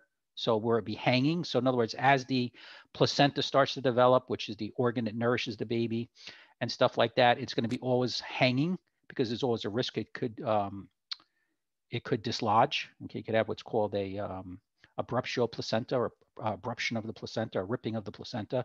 And then you don't want it to fall down here and implant because it's going to interfere with the baby to, uh, being able to be vaginally delivered, and that's called placenta previa. So it is important where it implants, and obviously, you know, God made us a certain way that 99.9% of the time it implants on the sides where it's supposed to, and there's no issue. Um, if a woman had a C-section, there's a higher risk of it having an abnormal implantation because there's going to be a scar. So if for some reason, now again, they know where to cut, to reduce all these risks and stuff like that, right? So, I mean, unless it's an emergency C-section where they're going to cut the first place they can see, they're very careful on where they cut so that the scar is not going to be in a place where the egg could actually hit. Because if there's a scar and the egg falls on it, it's just going to slide right off the scar and continue to travel. So, if you didn't have this thickening of the walls, the egg would actually fall, hit its smooth muscle. It'd be like hitting your hand. It would then basically slide and fall right out. So that's why it has to thicken so that it has a place to actually land into and then start to grow. Okay. Um, okay, so this is again another picture, but basically showing you the egg is released, okay, and continues to travel. At some point, it meets the sperm, right? The spermatozoa over here, the egg meets. Now it's called an embryo. It continues to travel. It falls into the uterus and plants because the wall of the uterus got nice and thick. And now it's going to grow hopefully into a nice healthy baby. Okay. Any questions so far? What's that? Uh, what I heard once that uh, uh, it's getting developed an empty sac. What was this? I'm sorry. I heard once that uh, a woman developed an empty like she it feels like she's pregnant, but the sac is empty. There's no baby in the sac. There's no baby, and so there's an amniotic sac without a baby inside of it.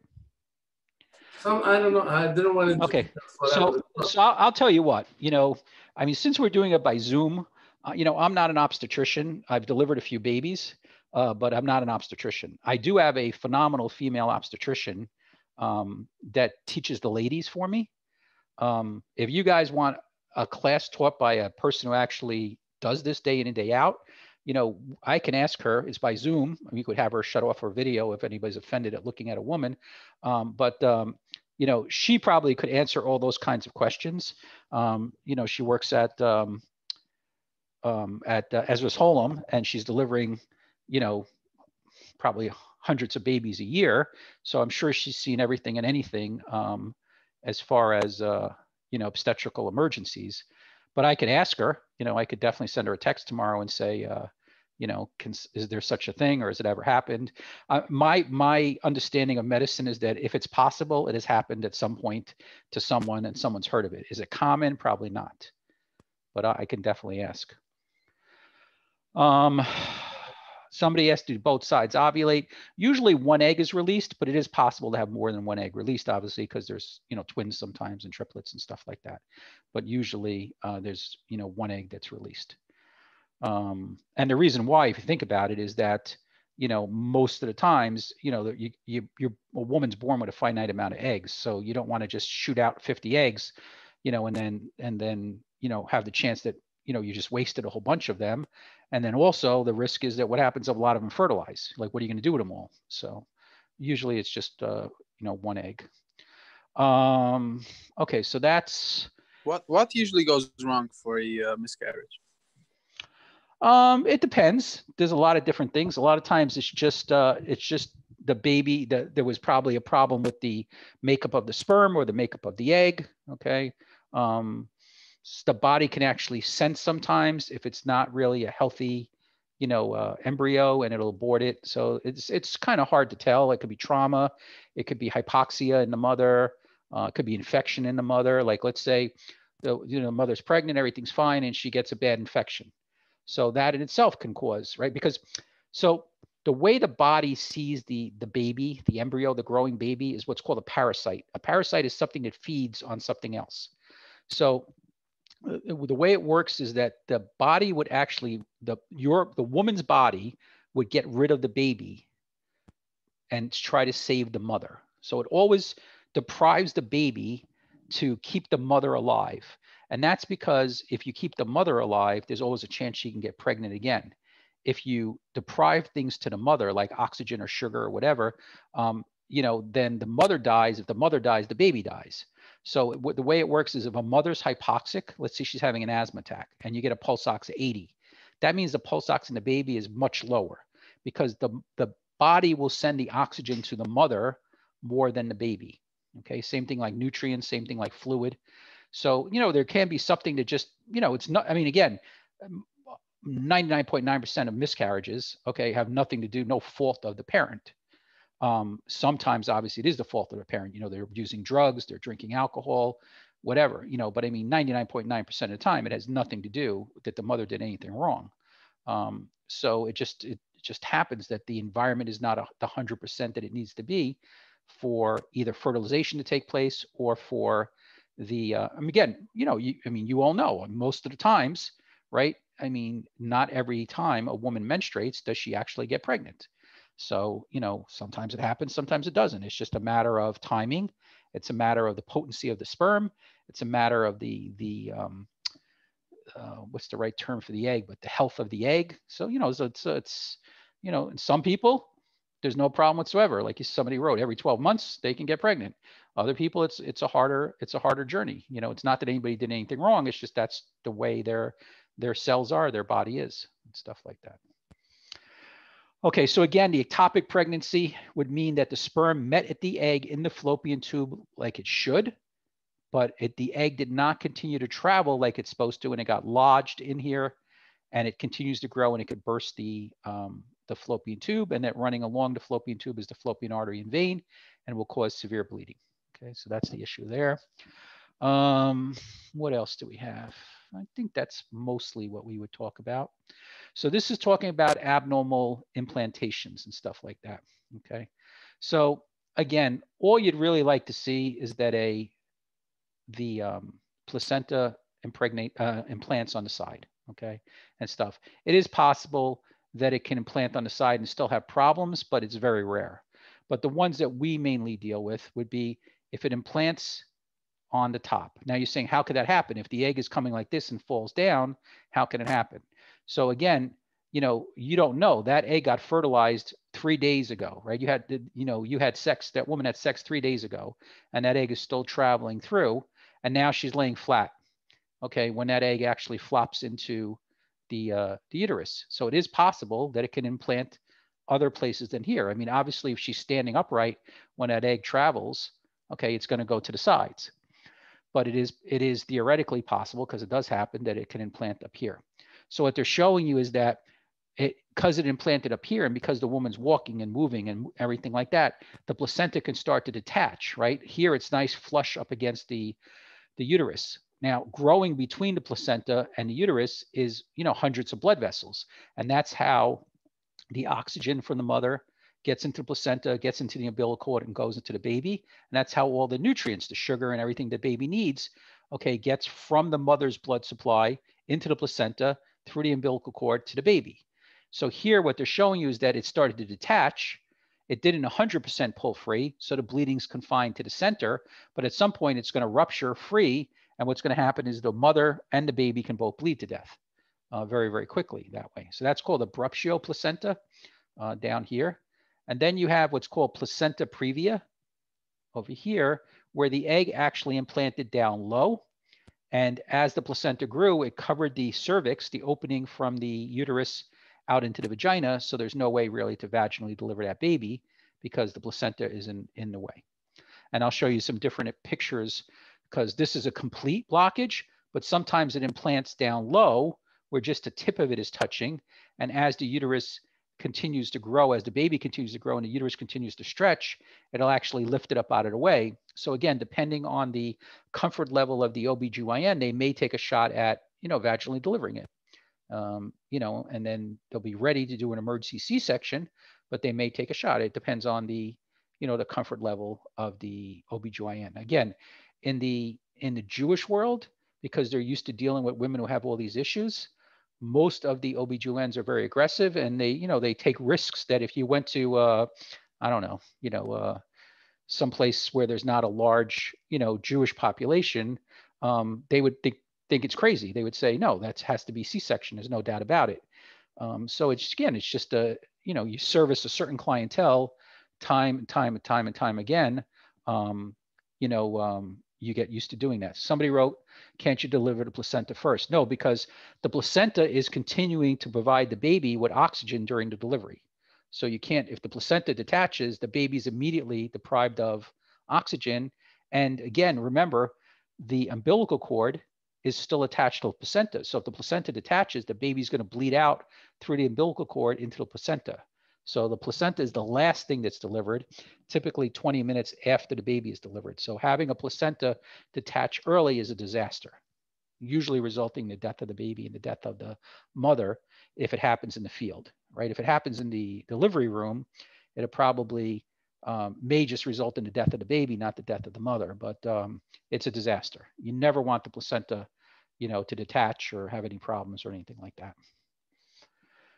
Okay, um, what time is it? 10, 11. So let's go a couple more minutes and then we'll, uh, then we'll call it a night. So, um, you know, not, uh, pregnancy is about 40 weeks, okay? Um, a normal full-term pregnancy is about 38 to 40 weeks.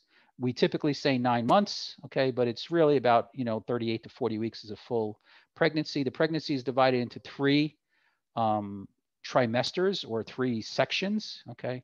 And uh, when we do the emergencies, we're going to talk about emergencies in the first trimester and emergencies in the last trimester. There's not a lot of things, believe it or not, that happen in the second trimester. Most of the emergencies either happen early, okay, or happen late. Again, the placenta is the organ it develops, that it comes, it's actually the only organ you develop or a woman develops or a person, a human develops, and that when it serves its purpose is expelled from the body. But the placenta is the organ that grows. Again, it comes from the egg and it's the organ that grows um, to provide a connection between the mother's blood supply and the baby. So it grows into the wall of the uterus, it grows blood vessels to connect into the mother's circulation, and it's what brings oxygen because obviously the baby is not breathing when it's floating in a sac full of fluid.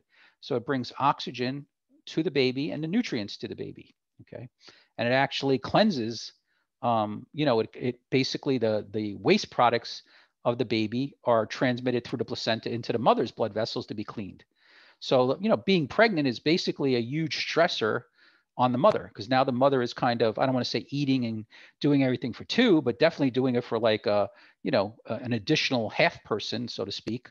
Um, so, you know, it's a, it's a big stressor. Remember, pregnancy was often the cause of death uh, for women probably until uh, 1920s, 1930s, um, you know, and stuff like that. So it was, you know, it's, it's not, it's only really in the last 50, 60 years where pregnancy is not considered, um, you know, to be a, a, risk, you know, to the woman to the extent that, uh, you know, it wasn't uncommon for women in, in, in childbirth to die. Okay, so again, the placenta is the connection and it's going to give the mother the oxygen it needs. It's going to remove the carbon dioxide from the baby and the nutrients to the baby and the waste products away from the baby and so on. Okay. The umbilical cord is the connection between the placenta and the baby and the, the umbilical cord connects into the baby at the umbilicus, which is your belly button.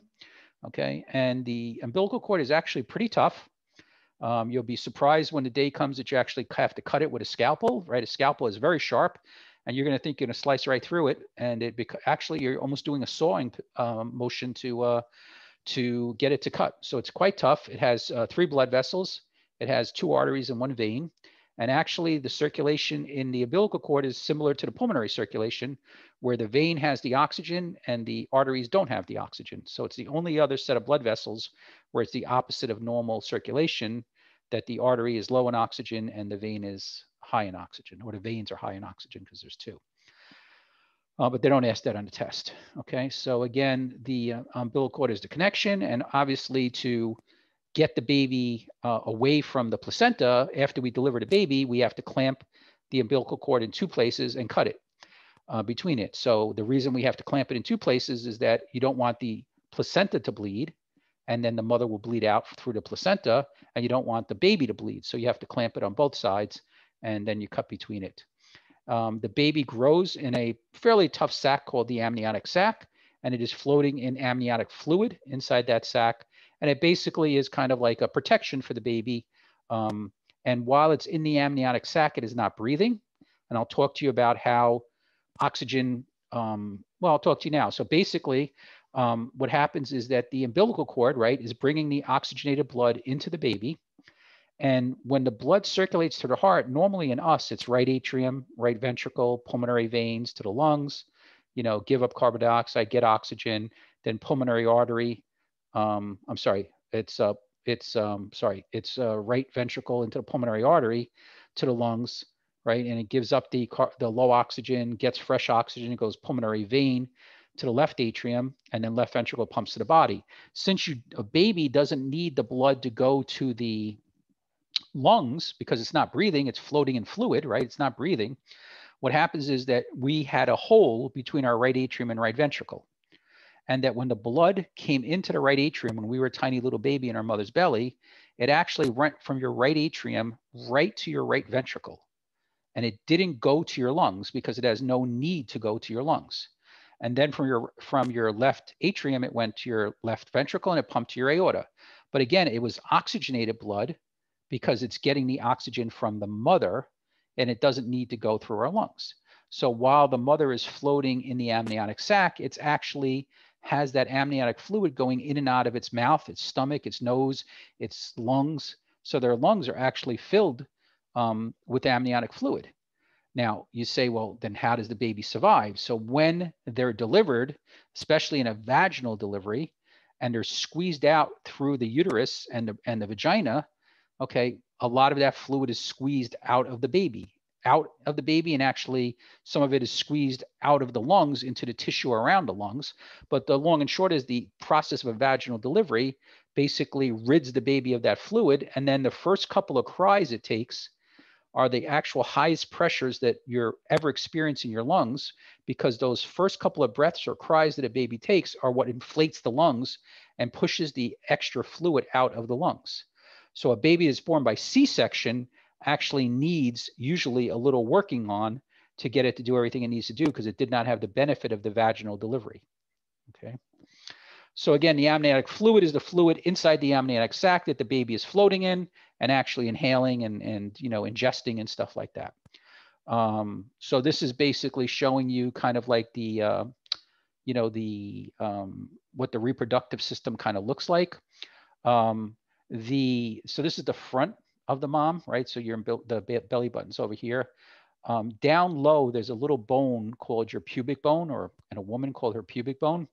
And this is the obstacle to the baby actually being delivered. So sometimes when we're going to deliver a baby, right, it's going to come down into through the cervix, which is the opening of the uterus, and it's going to come down into the vagina and it's going to get stuck. And that just means that the baby is too large. Typically, it's the shoulder gets stuck on the pubic bone.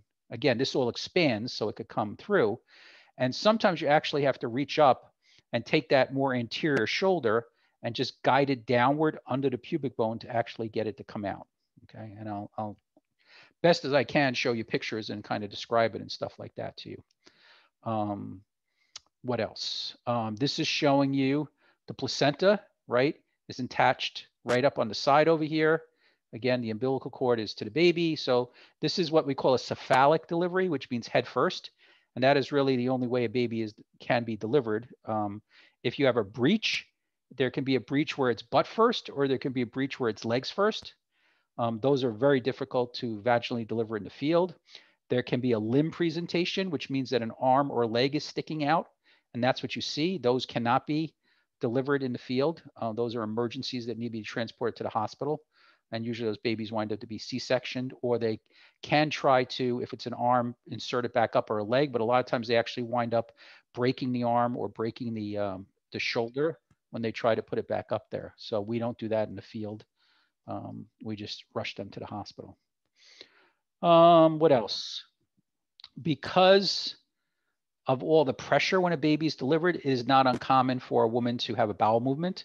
She doesn't know she's having it, or it's not uncommon for a woman to urinate because it's pushing on the bladder as it's going down. So she doesn't know that she's actually even doing it, but uh, it's not uncommon for that to happen and stuff. So, you know, obviously, um, you know, you just have to cleanliness wise, just try to keep the baby out of all the mess and stuff like that.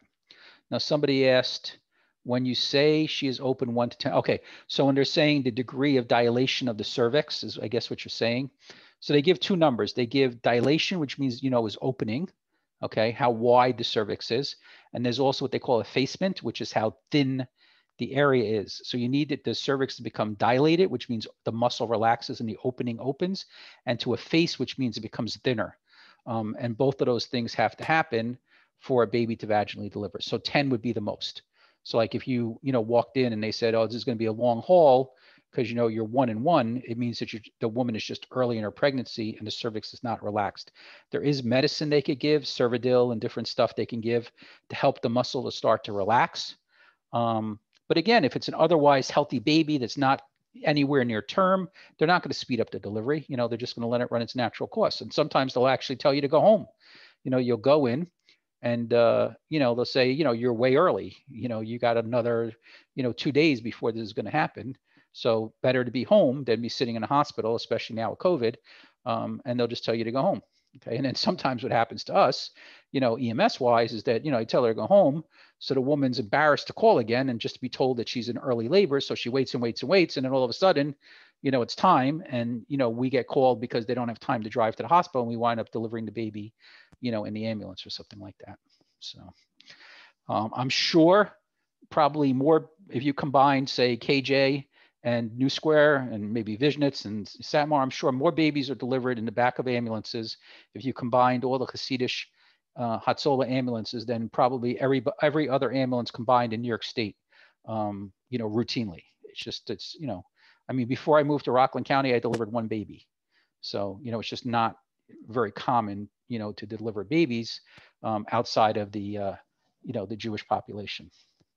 Okay, so what happens physiologically during pregnancy in a woman, and then we'll, you know, we'll pretty much call it a night. I think we got a couple. Yeah, we'll stop uh, right about think about here. So we got four more slides. So what happens physiologically, right? And anatomically means the shape. Physiologically means what's happening, you know, um, well, I keep on saying physiologically, but what's happening with the function. So because of the different hormones that are secreted into the woman's bloodstream, certain things happen to different systems. Okay, so cardiovascularly, the woman actually develops more blood volume. Why? Because she has to now pump blood to the placenta, right? So she has to have more blood. Her cardiac output increases, which is the amount of blood that's pumped by the heart in one minute. Again, because she now is servicing not only herself, okay, but the baby, right? And also heart rate increases because one of the ways that you can increase your cardiac output is by increasing your heart rate because the two components of cardiac output, I know this was a long time ago, but it was heart rate times stroke volume, right? So stroke volume is the amount of blood that's pumped out of the left ventricle at one contraction and heart rate is how many times a minute. So your cardiac output is a measurement of how much, how much blood is pumped out of the heart in one minute. So that's made up of what your heart rate was for one minute and how much blood comes out of the ventricle each time your heart contracts.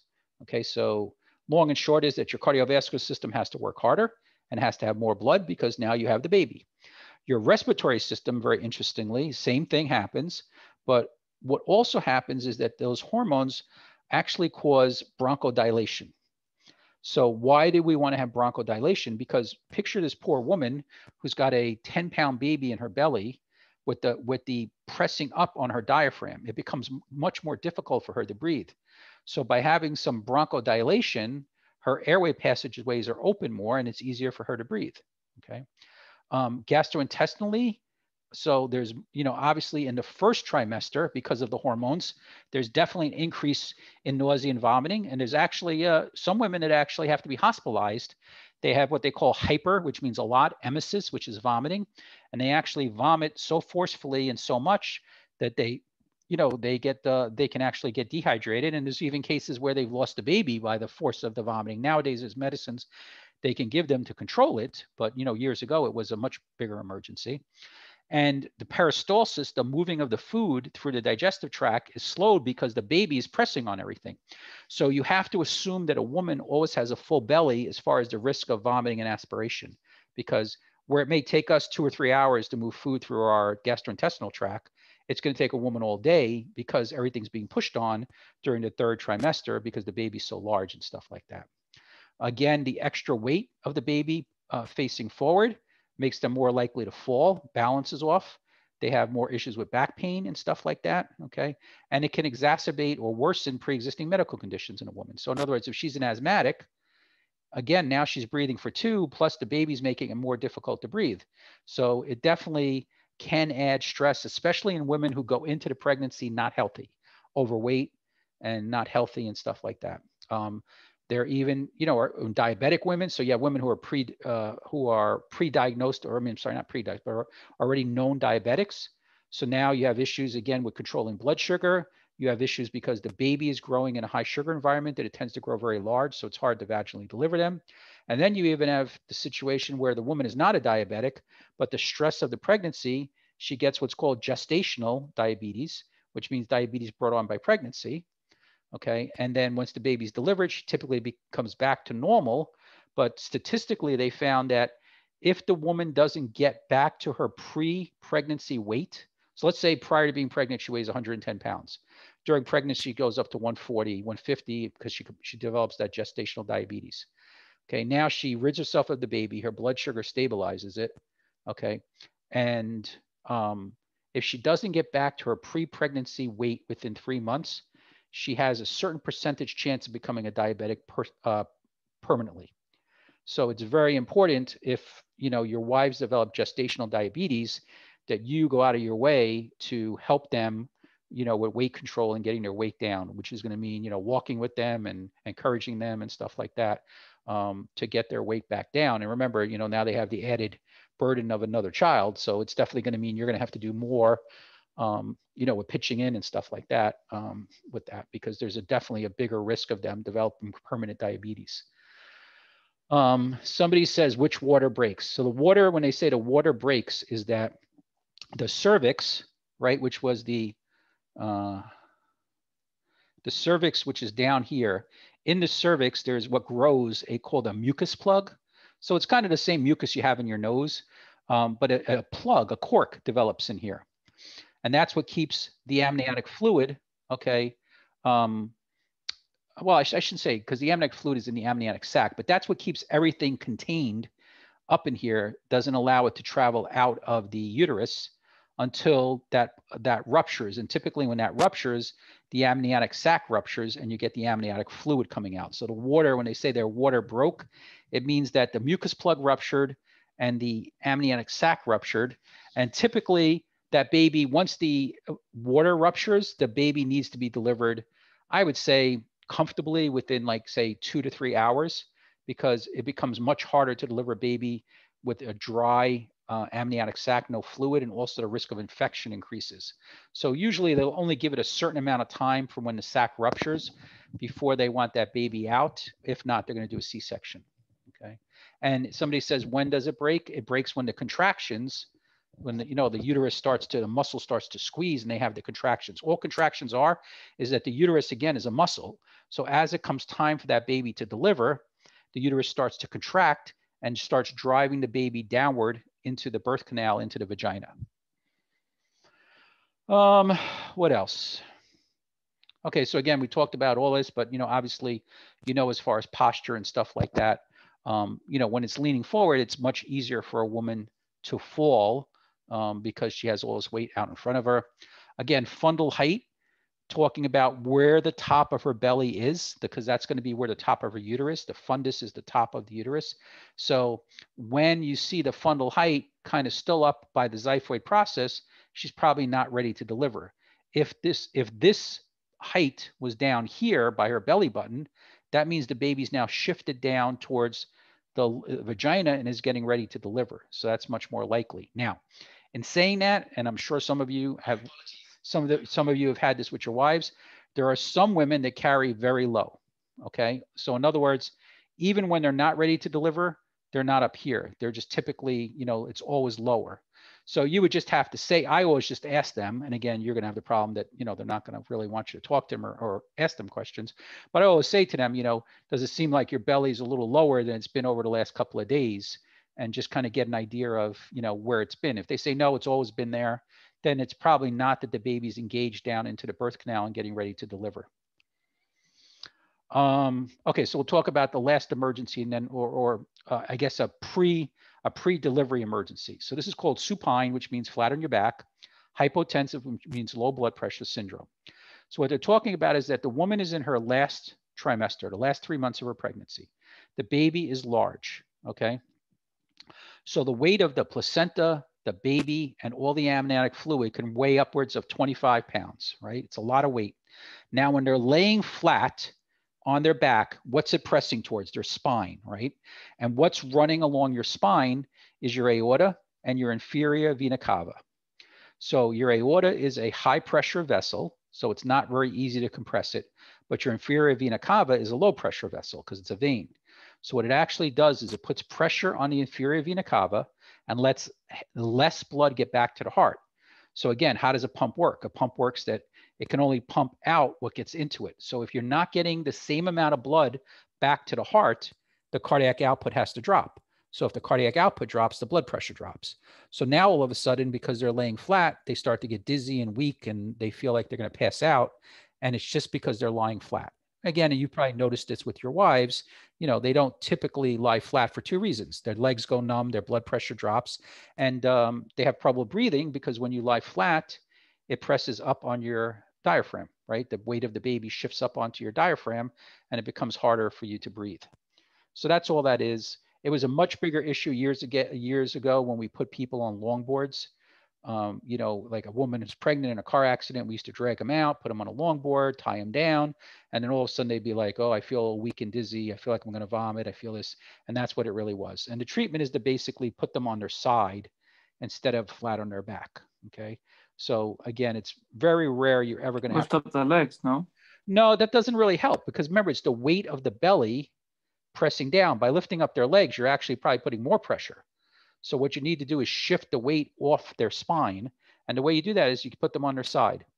Okay. And uh, that will do it. Again, it's not that common. And again, we don't really ever trans transport women anymore um, flat on their back. So it's not really an issue. Okay. So last thing is not the last thing. I mean, I think we have quite a few. Uh, we're on uh, slide 19 of 111. So we got a lot ahead of us. But I just said here, what does the development of the fetus, you know, how does the development of the fetus affect other body systems? So obviously, you know, it's just an, another draw, another um, burden on all the other systems of a woman's body, right? Now, certain things happen to help it. In other words, the the relaxation of the bronchioles makes it easier to breathe. You know, the increase in the blood volume makes it easier to um, keep the patient's, uh, the woman's blood pressure up and stuff like that. Interestingly, all the blood that a woman gains in pregnancy, right? So let's say she gains, I don't know, 500 mLs of blood, right? So when she actually has the baby, she loses that blood so that she gains it while she needs it. And then once she delivers the baby, right with the process of delivering, blood comes out. And, you know, when the placenta delivers, there's usually a gush of blood, and that's that extra blood, almost the exact equivalent of the extra blood that she gained um, for the pregnancy. So it's, you know, when they say, you know, the miracle of birth, the miracle of life, all this stuff, I mean, it is pretty amazing um, when you think about, you know, everything that has to happen to have a baby and everything that has to happen to deliver a baby and that everything pretty much goes back to normal fairly quickly. The other thing that I always found really amazing, if you ever, you know, think about it deeply, is eating food and that it actually travels through the, you know, these, I don't know, probably 30, 40 feet of tubes, not getting stuck. And, uh, you know, you get everything you need to stay alive out of it and everything works perfectly. So that's probably why there's the bracha, you know, that you, you say after you go to the bathroom, um, because it really truly is a miracle um, that everything works, you know, for whatever you're, you know, for your 120 years with, uh, you know, for the most part with no, no issues. Anyway, um, I digress from what we should be talking about. Um, I'm done. So it's uh, it's already a little late, but uh, it's 10:30. So does anybody have any questions on anything we went over so far tonight? Okay, so we're going to call it a night. Um, tomorrow night we'll pick up with the rest of OBGYN, and then Motzei Shabbos um, we'll either finish up anything we didn't finish up tonight. And then I also want to just talk about the spinal injuries um, because you guys wanted to go over that lecture. And um, what else? Somebody says we have gone the other night till 11. So you want to be the guy that tells everybody we have to stay on till 11, plus I'm falling asleep. So um, no, tonight we're not staying on till 11. I want to be in bed by 11. But uh, we'll finish up tomorrow night. And then what we don't finish up, we'll you know we'll touch upon on Saturday night or something like that. But I think we'll be able to finish tomorrow night. And um, again, we'll um, we'll meet Saturday night for those of you that can participate, and we'll just review the spinal injuries and the stuff. And then um, we really don't have much left after that. I think we have peds and geriatrics, and then a little bit about uh, you know mass casualty incidents and stuff like that. And then we're going to basically be in review. So um, I guess it's good that we'll have that little extra week because that will definitely make it easier um, as far as squeezing time into review and stuff like that. Okay, so any questions going once? Everybody's good? Okay. Um, all the videos are on Dropbox. Yes, they should all be on Dropbox. I know I've been tired at night and I've been screwing up putting the previous nights on and stuff like that. But uh, people have been texting me pretty quickly and I try to correct it the next morning. But all the videos are on Dropbox and all the videos are on YouTube. Um, the only videos that are not on YouTube are a couple of the um, review ones where we were actually going over questions because I didn't want that on YouTube where everybody can see it. So those couple, I think there were two Saturday nights where that's only on Dropbox. Okay. Um, okay, any other questions? Okay, so everybody have a good night and uh, we'll pick up again eight o'clock tomorrow, uh, tomorrow night. Night. Good night.